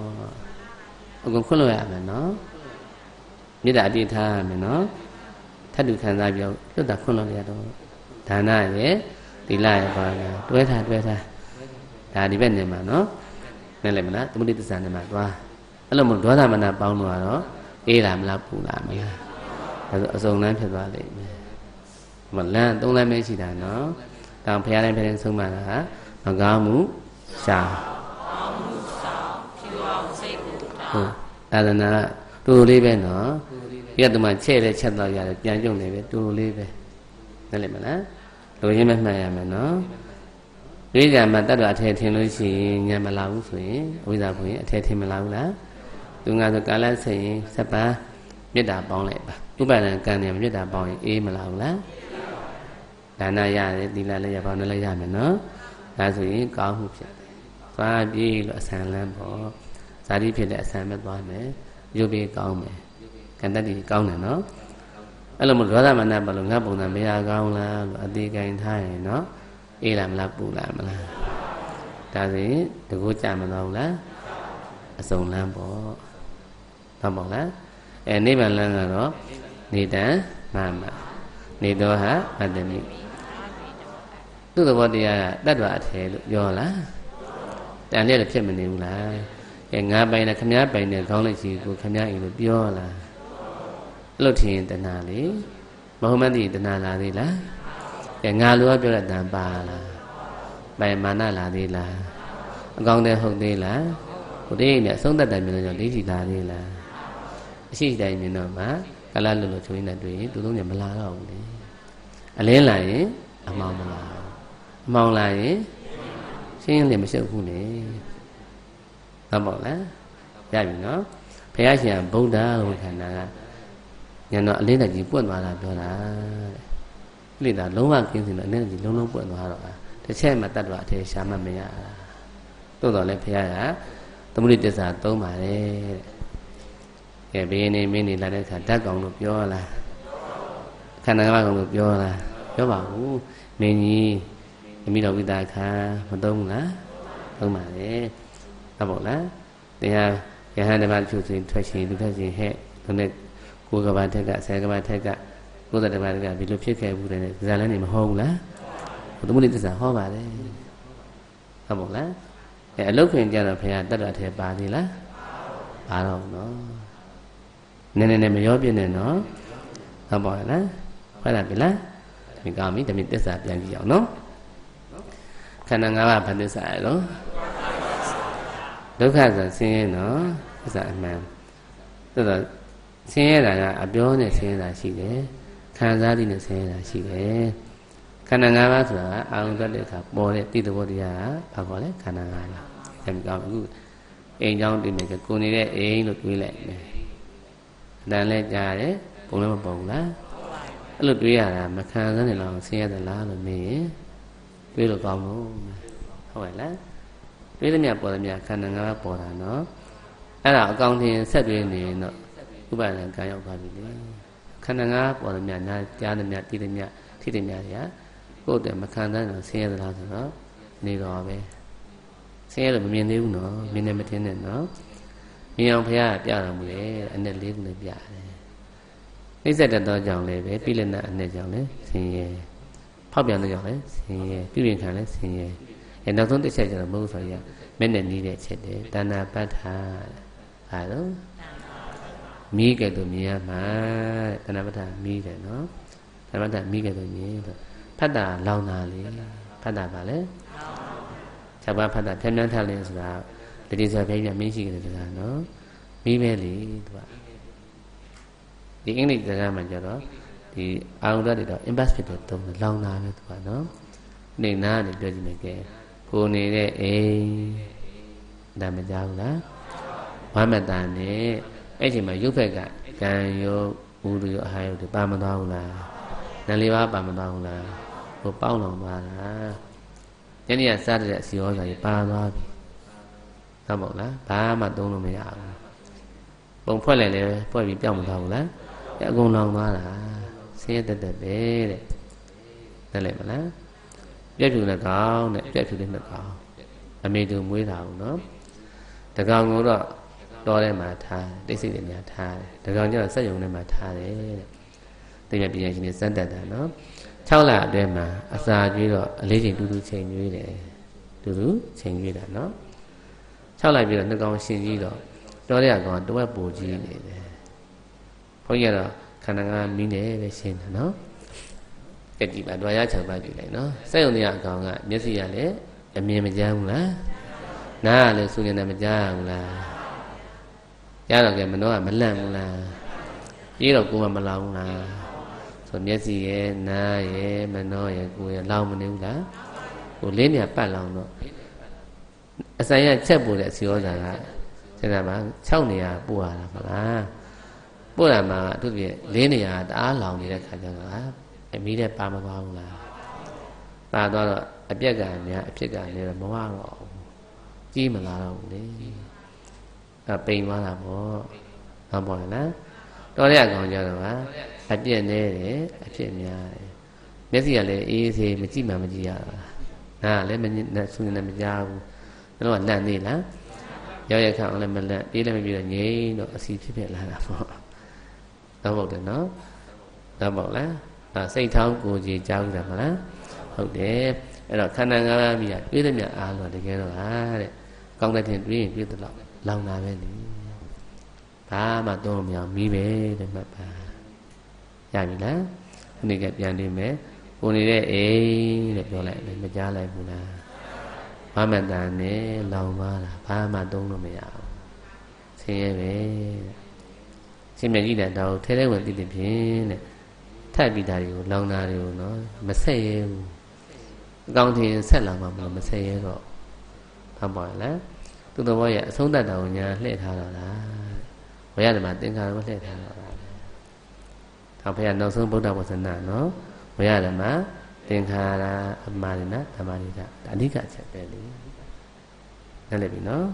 ရမလားဟုတ်ပြီသမီးဒုက္ခသစ္စာသိကြပြီနော်ဒါကိုပိုင်းခြားမြင်တာကမေဃသစ္စာဉာဏ်တဲ့အဲ့မှာဉာဏ်လင်းပေါ်တဲ့အချိန်မှာဘက်ကအမှောင်လာသေးလား ဒီအမှောင်ကဆင်းရဲဖြစ်နေတဲ့အကြောင်းစဉ်းစားပါတွေးတယ်ပေါ်လာတွေကိုအထက်ထင်တာဒိဋ္ဌိငါထင်တော့ကဲငါပိုင်းနေထင်တော့ဆက်မတွေ့ဘူးလားဥပါဒံကံဆိုရင်ကုသိုလ်တို့ပေါ်မလာဘူးလားအဲ့ဇောရှိည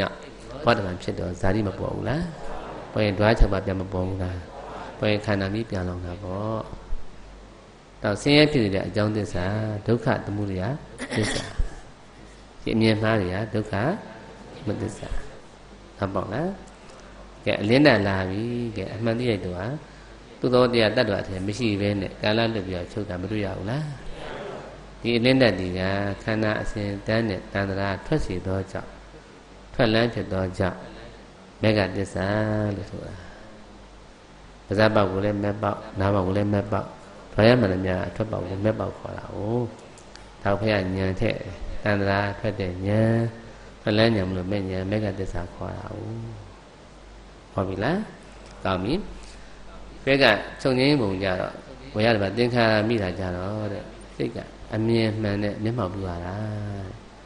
ဟုတ်ပေါ့လားဒါသစ္စိကတပါမျက်မှောက်ပြမတရား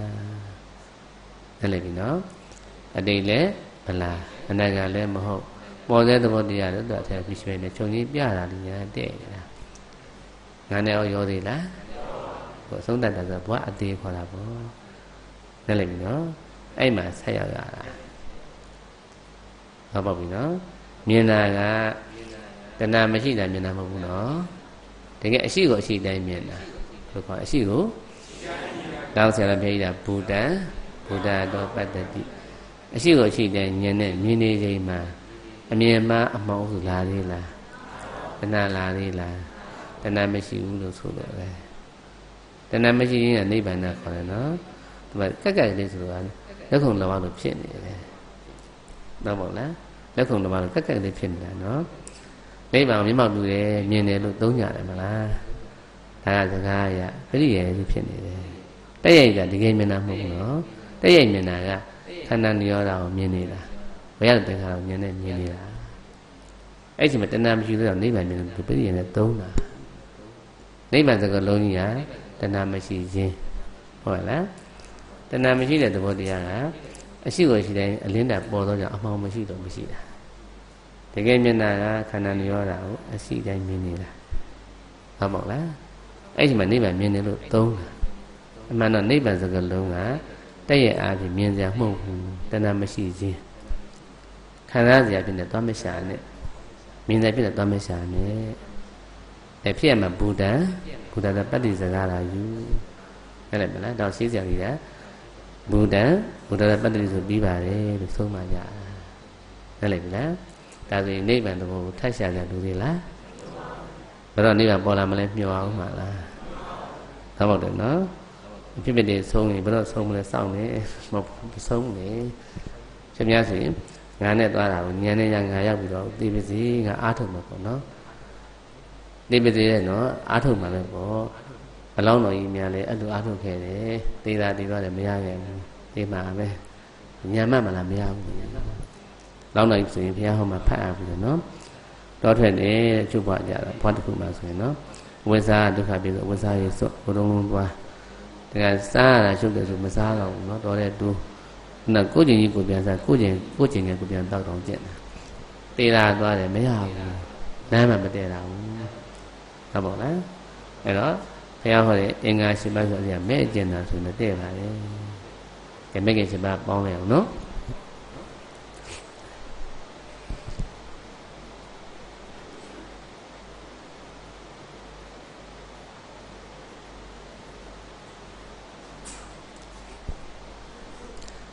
အရှုငါပေါ်ရင်မဲ့ကျင်၅ပါးနဲ့လိုင်းလို့မဟုတ်ဆိုရ၃ညတယ်နော်။ ရှိတာ၈ပါးကို၅ပါးနဲ့လိုက်ဆိုတော့လက်တိတိနေဖို့အမှန်ကောင်းတာနော်တကယ်တော့အားကြည့်လိုက်တော့မိခင်၈ပါးရေးကြည့်ပါဦးဓမ္မဒိဋ္ဌိ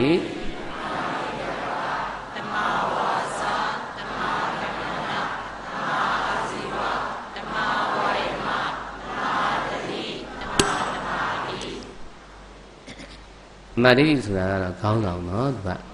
သိအမြင်မှန်အမြင်မှန်တဲ့တမာတိကပါလေအမြင်မှန်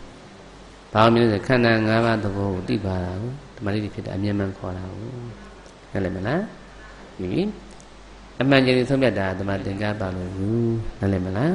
ကောင်းပြီတမ္မာရှိရခန္ဓာတော့ကြောင့်တတိဒီရိုးတတိမဟုတ်တော့ဘူးတဲ့တတိဆိုတဲ့စကားလေးကဗမာစကားထင်မနေဘူးလားဟုတ်ဘူးပါဠိစကားဗမာလိုဆိုတဲ့ဘိတ်အနေနဲ့တော့အောက်မေခြင်းတဲ့ဘယ်လိုခေါ်လဲအောက်မေခြင်း အိမ်ကိုအောက်မေတယ်ဆိုရင်အိမ်မပေါ်မလာဘူးလားဒီလှည့်တာလေမှန်တဲ့လိုလှည့်လိုက်တာနော်အဲအမေအောက်မေတယ်ဆိုအမေမျက်နှာပေါ်မလာဘူးလားမီးလေးအောက်မေမီးလေးမျက်နှာပေါ်ဘူးလားခုနေကဲခေါင်းနဲ့အိယာတွေပေါ်နေလားအိတ်ရှင်မလားလို့မြင်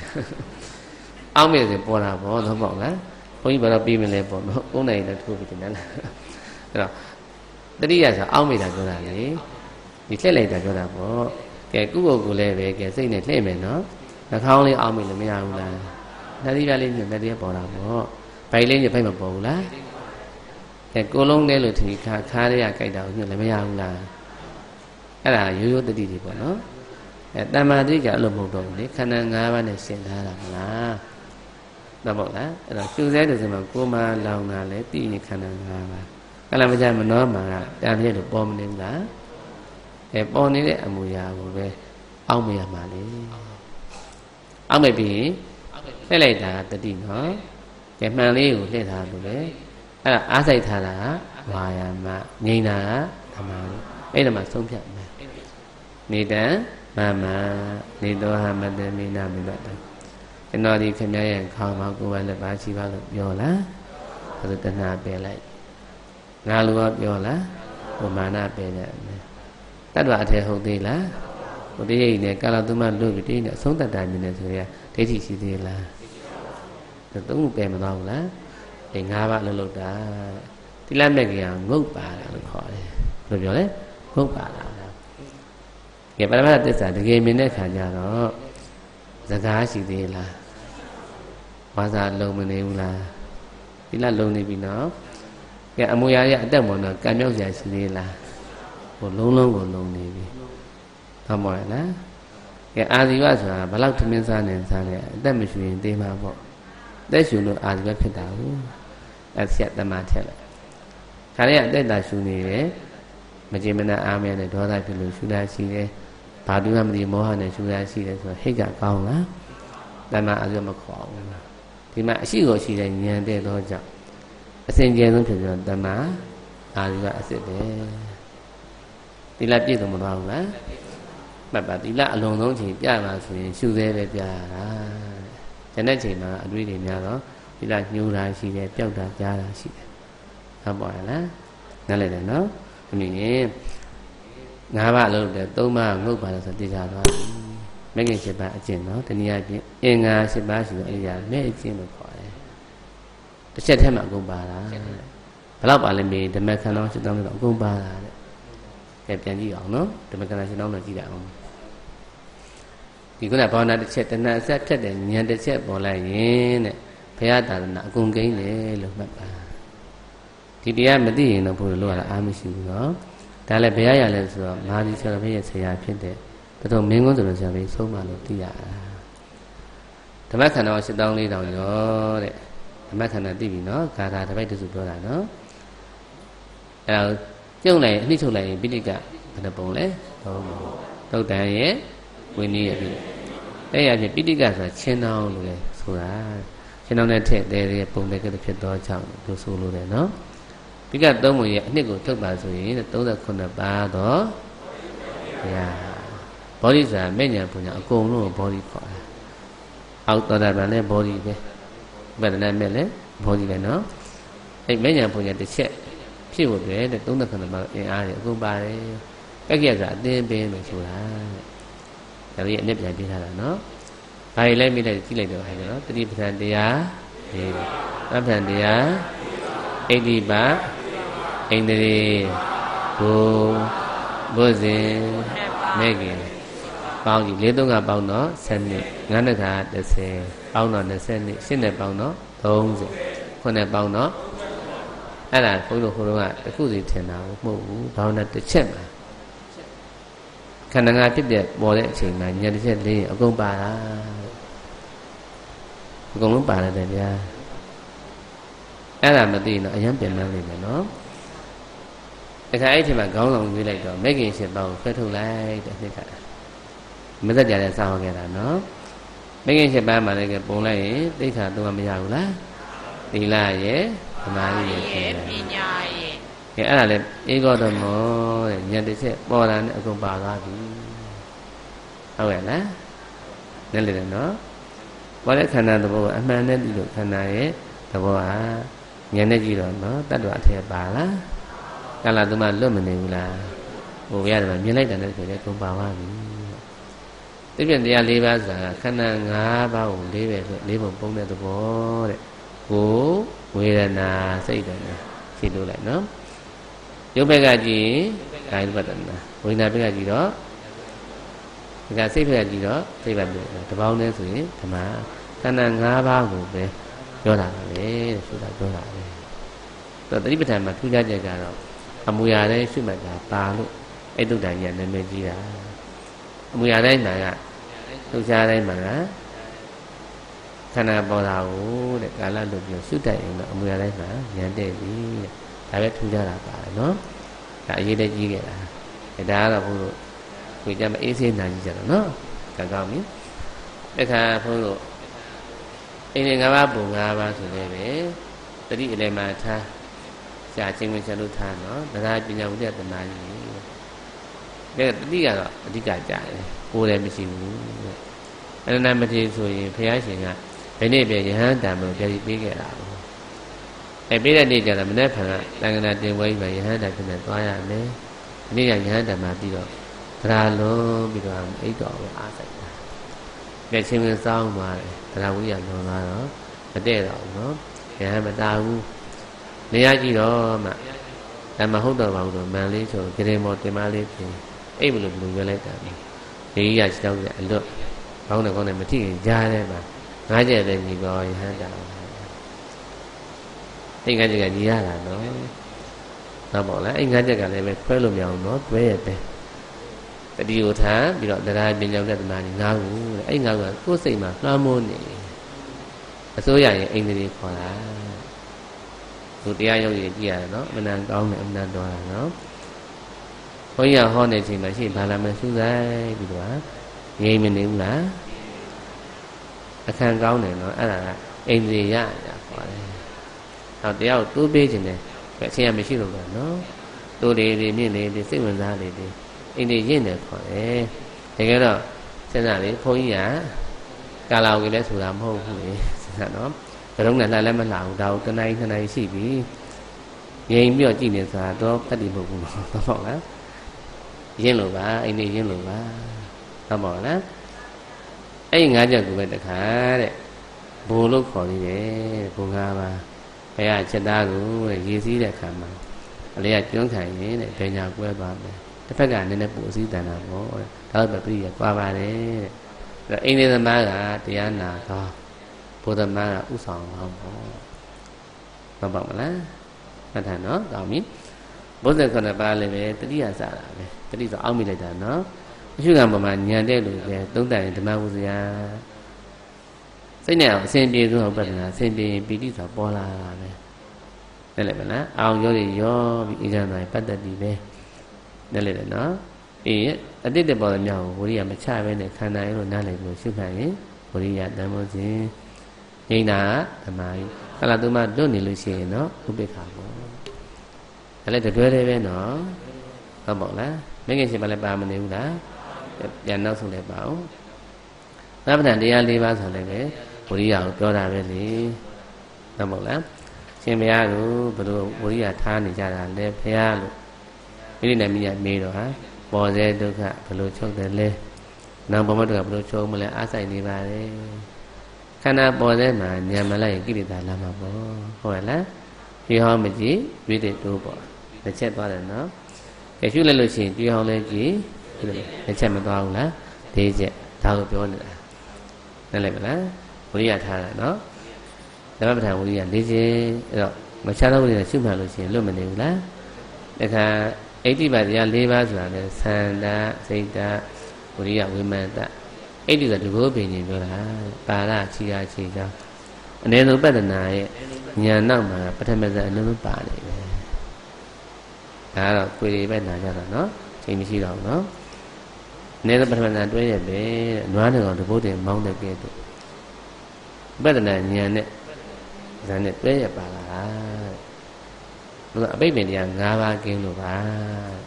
ပြင်းတယ်ဘယ်နှပါလဲ၅ပါးကင်းရင်မှတ်ထားပါပထမဇန်ဖြစ်တာပဲအဲရှိမှတ်ဆဲမှာကတတ္တဝအထဲလို့ထင်းပြီးတော့ကာမဂုဏ်တောက်တာရှိပါမလားနောက်မကြေမနအားမရရှိပါမလားတောက်တာကြည့်ရမလာဘူးနော် ခိနမိတ်တာလည်းမလာဘူးပြောင်းလဲတာလည်းမလာဘူးဝိဇိကိတ္တလည်းသိနေတယ်ဆိုတာအဆုံးစံနိဗ္ဗာန်ကွဲနေတာပဲအဲ့မှာဒီနေ့မှာသကားတော်မလုံးဆိုရင်ပထမဇန်အနည်းဆုံးဖြစ်နေတာဒါဇန်မိုင်းနေနဲ့မှနာကြည့်ကြနော်ကောင်းအဲ့တော့အားလုံးကခြုံကြည့်လိုက်ရင်တတိပဌာန်တရား၄ပါးသမ္မာတရား၄ပါးအိဋ္ဌိပါ၄ပါးအိန္ဒြေ၅ပါးဘု၅ပါးဘုဇေ9ပါးမဲ့ကြီး10ပါး ဧကောဓမ္မဘာဝနာတစ်ချက်ထဲမှာအကုန်ပါတာလို့မှတ်လိုက်ပါနော်တခါညာနဲ့အရှုခံရှိနေတက်လိုက်တဲ့တိုင်နဲ့အကုန်ပါသွားပြီဒါလည်းပဲအတော်မင်းလို့ဆိုလို့ဆရာပဲအမိရှိလို့ပြရတာနော်ဒါတော့တမီးအလုံးဝမ်းတာမှာကညံတစ်ချက်မှာအကုန်ပြီးတယ်လို့မှတ်လိုက်ရတာနဲ့အကုန်ကိန်းတာဒီစိုးကြုံလေးပုံကချားမဟုတ်ဘူးဉာဏ်နဲ့ပညာစကားလေးကိုရှင်းထားတာပညာနဲ့ဉာဏ်တကယ်လို့ဉာဏ်တစ်ခုတည်းလုံလိုက်ပညာပြောကြမလို့ပေါ့ ဘုရားပညာလည်းသုံးတယ်ဉာဏ်လည်းသုံးပါဘာကွာလဲပြီးတော့အထက်ကဆရာကြီးရှင်းပြသွားတယ်ဒီခုကြည့်တယ်နော်စူးစစ်တဲ့ခံမှာတဲ့စူးကြုံလေးနဲ့စူးမထုတ်ပါဘူးလားသုံးတာအဖျားလေးသုံးတာဟုတ်ရဲ့လားကဲစူးကြုံပေးပါစေအဖျားလေးချိုးပေးလိုက်မယ်သုံးလို့ရပါမလားတစ်ချောင်းပေးရတာနော်အဖျားလေးပြောက်ခင်ဒီတဲ့ပညာလို့ခေါ်တယ်အဖျားလေးကဉာဏ်တဲ့ ပြောလို့တာကတော့ပညာအဆင့်ကနည်းနည်းစကားပြောတယ်ဉာဏ်စိကစကားပြောရတယ်ကဲခုနေမေ့ကြည့်မယ်နော်ငါအမြောက်လက္ခဏာငါညီမြခြင်းလို့ပု္ပ္ပာပေးလိုက်မယ်ဘယ်လောက်ထွက်တော့ငါအမြောက်လက္ခဏာငါဆိုရင်ဟိုငတ်လင်ကမရွတ်တော့ဘူးလားမရွတ်ဖဲနဲ့25ပေါ်မနေဘူးလားတညာဆက် ဘုရားကလေးတော်ဆိုရင်အဲ့တင်ချာပု္ပ္ပာကိုသူငယ်တော့ဆိုဦးလေရွတ်လိုက်ရတာငါလင်ငါနဲ့ဆိုရင်မရွတ်ဘူးလားပြီးတော့မှ25ဆိုမှခြာရတာမလားအခုလည်းကဲနေတမမပြီးတော့နေတော်မှတပိအနံ့ပြလိုက်တာတကယ်ကြွညံတန်ရင်အဲ့ဟာရွတ်ရတော့မှာလားငြိမ်ပြီးနားထောင်မှလေညာလေးတက်လိုက်တဲ့ရှူစဲမှာကဲကျွန်တော်ခင်ဗျားရဲ့ခေါင်းလေးရှိကိုလို့အမူအရာအရေးကြီးပြောလားဟိုငြိမ်နားထောင်နေပဲ ငါလိုကပြောလားကဲအတိတ်ဒီကာလလေးပြောချုံချင်းတာတွေ့မနေဘူးလားကဲသုံးခုရွတ်စရာလိုသေးလားဉာဏ်စိတ်ရောက်သွားပြီပညာရှိကတော့သုံးတာရယ်နော်စကားတွေပါနေတယ်ဟုတ်ပါလားရပြီနော်ဉာဏ်တစ်ချက်ပေါ်လို့ရှိရင်တဏှာဆက်ပြတ်မနေဘူးလားအဲ့ဒီမှာတာသနာအကုန်ကိန်းပြီလေရပြီနော်သစ္စာလေးပြန်သွားလိုက်ပါအောင်ဗျနော်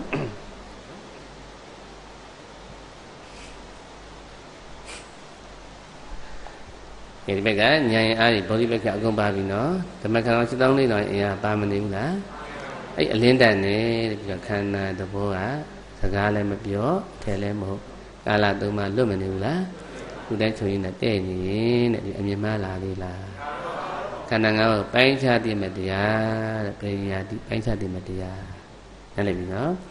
ဘက်ကကဒုက္ခသမုဒယတရားကတော့ပဟာတပါပြရမဲ့တရား ဟုတ်ပါလားဒါပွားမဲ့တရားဘာဝေတ္တပါဒါတိစိကတော့မြောက်ပြုမဲ့တရားဒီဘယ်ဆိုင်ပွားညတစ်ချက်လင်းလိုက်လို့ရှိရင်ပိုင်းခြားပြီလို့ပြောတာပေါ်မသွားဘူးလားပေါ်ပါဘူးဒီမှာပြုပြီဘက်ကလာသေးလားတဏမလာကျုပ်ဟုတ်ပေါ့လားဆရာတော်ရဲ့ပြောတာတဏမလာကျုပ်အလင်းလာတော့အမှောင်မလာတော့ဘူးလေတွန်းဖယ်တာမဟုတ်ဘူးသူပေါ်နေဒီအလင်းကမလာဘူးလေ အလင်းအားကောင်းတော့ကြောင့်ဒီလာသေးလားဒါမလို့တဏမှာကိလေသာဆိုတဲ့အမြင်မှမလာခင်အမြင်မှအလင်းနဲ့ထိုးပြီးဆုံးဖြတ်ချက်ချလိုက်တာနဲ့တဏမှာရှိတဲ့ကိလေသာတတ္တိတွေခံမသွားဘူးလားအဲ့တိုင်ပွားပါပွားရင်ပွားရင်နဲ့ဉာဏ်ရပူကောင်းလာဟုတ်မို့လားဟုတ်တော့တတ္တိခံသွားတာကိုညနေကခံသွားတာကိုဉာဏ်ကိလေသာတတ္တိကုံသွားလိမ့်မယ်ကုံသွားရင်အမောင်လာပါဦးမလား ကဲဒါမြင်ရပြီနော်ဒီဘယ်ဆိုင်ပါ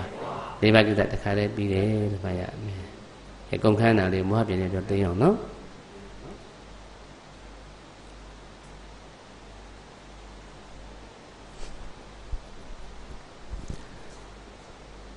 ကလေးကြဘုန်းတို့တွေမှာမိဘကတင်တာခေါင်းလည်းရှိကိုနာမည်တက်လိုက်သေးတယ်တတမိမိနဲ့အထက်ထရမတင်ဘူးလားအတတအိမ်တတပစ္စည်းမတင်ခဲ့ဘူးလား တဏရဲ့ဘာနာလေးကြီးရဲ့နှလုံးသွင်းခဲ့တာဒါပဲသွင်းခဲ့တာဖြစ်တော့ကြောင့်တဲ့ကိလေသာတတ္တိတွေများမနေဘူးလားအမှောင်အုပ်စုနော်ကဲစိတ်မှလည်းပေါ်တိုင်းပေါ်တိုင်းကိုကဲဒီမှာအမှောင်များမနေဘူးလားဟုတ်ကဲ့ဟုတ်ပြီနော်ကိလေသာတတ္တိရှိသောကြောင့်စိတ်အမြဲမှမောဟအုပ်စုတွေပေါ်မနေဘူးလားသိကြပြီနော်တတိခမ်းမှသူကမလာမှာနော်အဲနှလုံးပြန်သွင်းမယ်ဘုရားတော်တိုင်ပါအောင်နော် ခန္ဓာ၅ပါးနဲ့သဘောပေါက်သွားပြီပေါ်တိုင်းပေါ်တော့အဖြစ်မှန်ထုတ်မယ်နှလုံးသွင်းတော့မယ်နော်နေတံမမနေတော်ဟာမတမိနာမေသောအတ္တဉာဏ်နဲ့ကြည့်ပြီးတော့ဉာဏ်သားနဲ့ထောင်တာပါပဲတဲ့ပေါ်တဲ့အမူအရာတွေစကားပြောသေးလားဘုရားပိုင်လို့ပြောသေးလားငါလို့ပြောသေးလားအဲ့ဒါသုံးမှဆက်သေးလားဒီလက်နှုံသွင်းသွင်းနဲ့ကိလေသာခန်းခန်းသွားတာမို့ဟုတ်မို့လား ခန်းတယ်ဆိုရင်မဲ့ကဲနောက်ဆုံးပြအမြင်ရှင်းမသွားဘူးလားအဲ့ဒါကိစ္စပြီးတဲ့ခေါ်တာပဲလေဟုတ်ပေါ့လားဒါဆိုရင်ကိလေသာခန်းပြီပေါ့ကျိန်ခါများဆိုတာပွားရမယ်တရားတဲ့ဘာဝိတ္တပါတမီဘုရားမဟုတ်ဘူးလားအကျိန်များကစင်စင်စင်စင်မပြပွားရမှာမပြင်းရဘူးနော်တကယ်တရားတရားပြည့်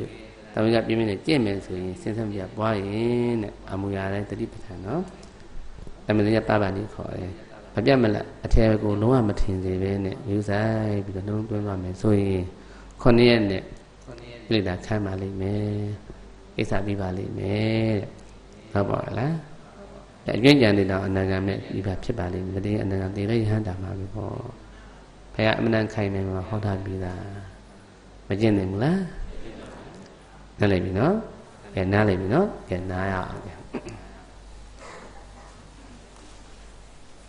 လက်ဥချကြမယ်နော်ဒီကိစ္စဘုရားရှင်ဟောကြားဆုံးမလည်းမူတဲ့အတိုင်းပြီးတော့တန်တန်မှတဲ့တကယ်ရှိတာကတော့ပရမတ္ထသစ္စာအားဖြင့်အာယုံတော်ရအမွေးတဲ့ခန္ဓာဒါပဲရှိမယ်နော်ဉာဏ်လင်းနဲ့ဘုရားပြည့်တဲ့အင်္ဂါရှိပါးကျော်ရမဲ့ခြင်းနဲ့ကြည့်မယ်ဆိုရင်တော့တဏှအဆက်ကပြတ်မနေဘူးလားကာလဆက်သေးလားဟုတ်ပြီဒါဆိုလွတ်တယ်နော်ကျိန်ဖန်မျိုးသာပွားများရင်ကြွေးဟောင်းလဲကြည် ကိလေသာခံမှာပေါ့တတ္တိခန္ဓာပြောတာနော်ကိုယ်အောင်ကြိုးစားရမယ်နော်ကဲဒီကဆက်ရင်လည်းပဲကဲတတ်တော်အထက်ထင်းနဲ့ဘာပေါင်းရမှာလဲမေတ္တာပေါင်းဒါဆိုအဆန်လန်းရမလားပြီးနိဗ္ဗာန်ကိုသုတောင်းတော့ကံတဲ့ရှင်နိဗ္ဗာန်ကိုချိန်မြောင်သုတောင်းထားမှပညာပူညာဆောင်းနိုင်မှာနော်ပြီးတဲ့ကံလည်းပဲစုမတောင်းမနဲ့ဗျာမာမဖြစ်စေနဲ့ဘုရားရှင်တောင်းတက်ပြီးတဲ့ညံလေးတဲ့စုမတောင်းဘူးလားလိုတယ်နော်လိုတယ်တော့ပေါ့လားရမယ်နော် အဲ့ဒီမျိုးတွေထည့်တယ်ခေါ်ပါလေဓမ္မစွာပြည့်မှာဟုတ်ပေါ့လားရပြီနော်အလုံးကြီးအကဲတော့ဘုရားစကားနားထောင်နေရဲ့အစုံလန်းရဲ့အဆန်လန်းရဲ့နေပါလားသုံးလမ်းသွားပေါက်ပြီးရင်အစုံလန်းကိုပိတ်အဆန်နေပါနှစ်လမ်းကိုပေါင်းများအထုံးနေရဲ့ပြီးတော့တန်တန်မတည်ကာလမှာကုသိုလ်တရားများဖြင့်သုံးလုံးမကုန်ဒုလုံးမကုန်ပြည့်စုံကြပါချမ်းသာတဲ့အပြင်မြညာပုံညာကြီးဆောင်းနေပါသေးတယ်ဆိုအရဟတဖို့တွေပေါင်းမြောက်ပြီးခန္ဓာဇတ်သိ ငြိမ့်နိုင်ကြပါစေ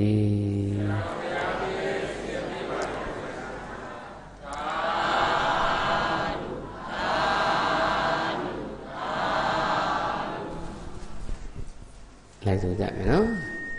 ဣမာယဓမ္မာနုဓမ္မပฏิပတ္တိယဓမ္မပတိပတ္တိယမဲ့လေးတံလေတံဘုံလေးတံလေတံနိဗ္ဗာန်ဒီဟူ သောနိဗ္ဗာန်တိဟုသောဒီလောကုတ္တရတရားလောကုတ္တရာတရားဘုရားအားလျော်သောဘာလျောသောကျင့်ဝတ်ပฏิပတ်ဖြင့်ဒီပတ်တိဘုဒ္ဓံမြတ်စွာဘုရားကိုမြတ်စွာဘုရားဓမ္မံတရားတော်မြတ်ကိုတရားတော်မြတ်သံဃံသံဃာတော်မြတ်ကိုတရားတော်မြတ်ဘုရေ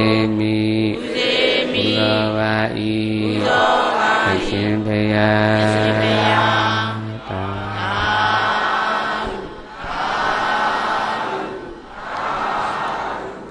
အဲအမြောက်လည်းဘုန်းဆိုတာလိုက်ဆိုကြမယ်နော်ဒါမဆိုတော့ဘူးလားပြလိုက်တာနော်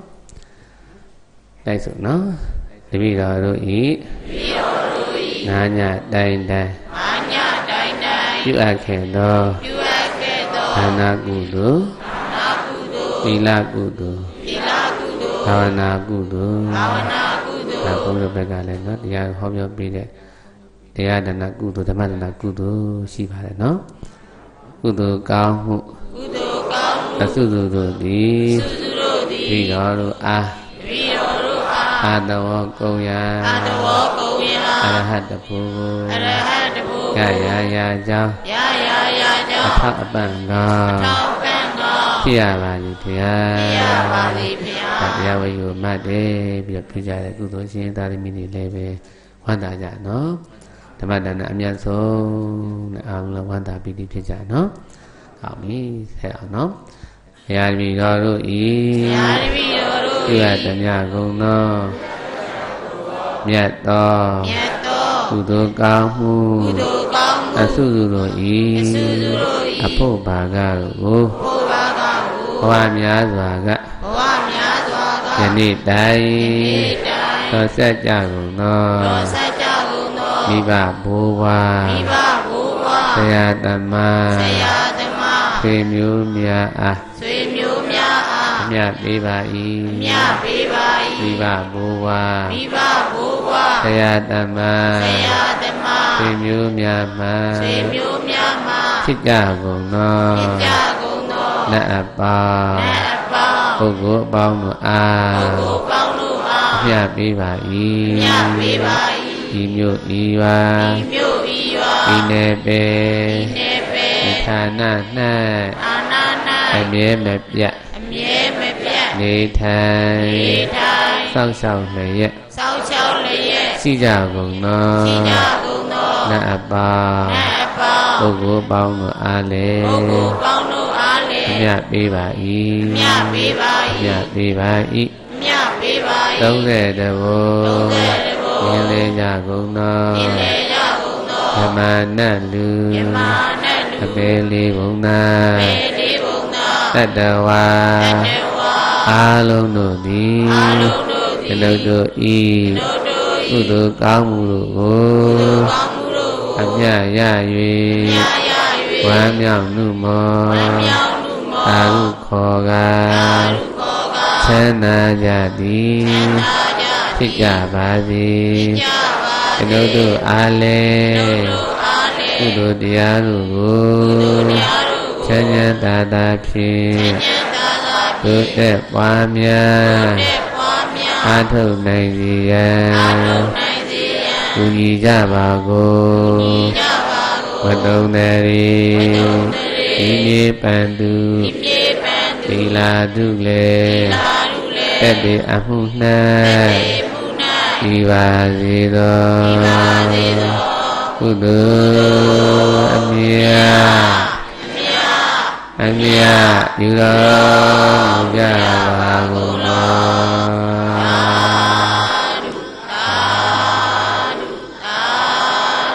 ကုသိုလ်အမြတ် အမြတ်အမြတ်ယူတော်မူကြပါကုန်သော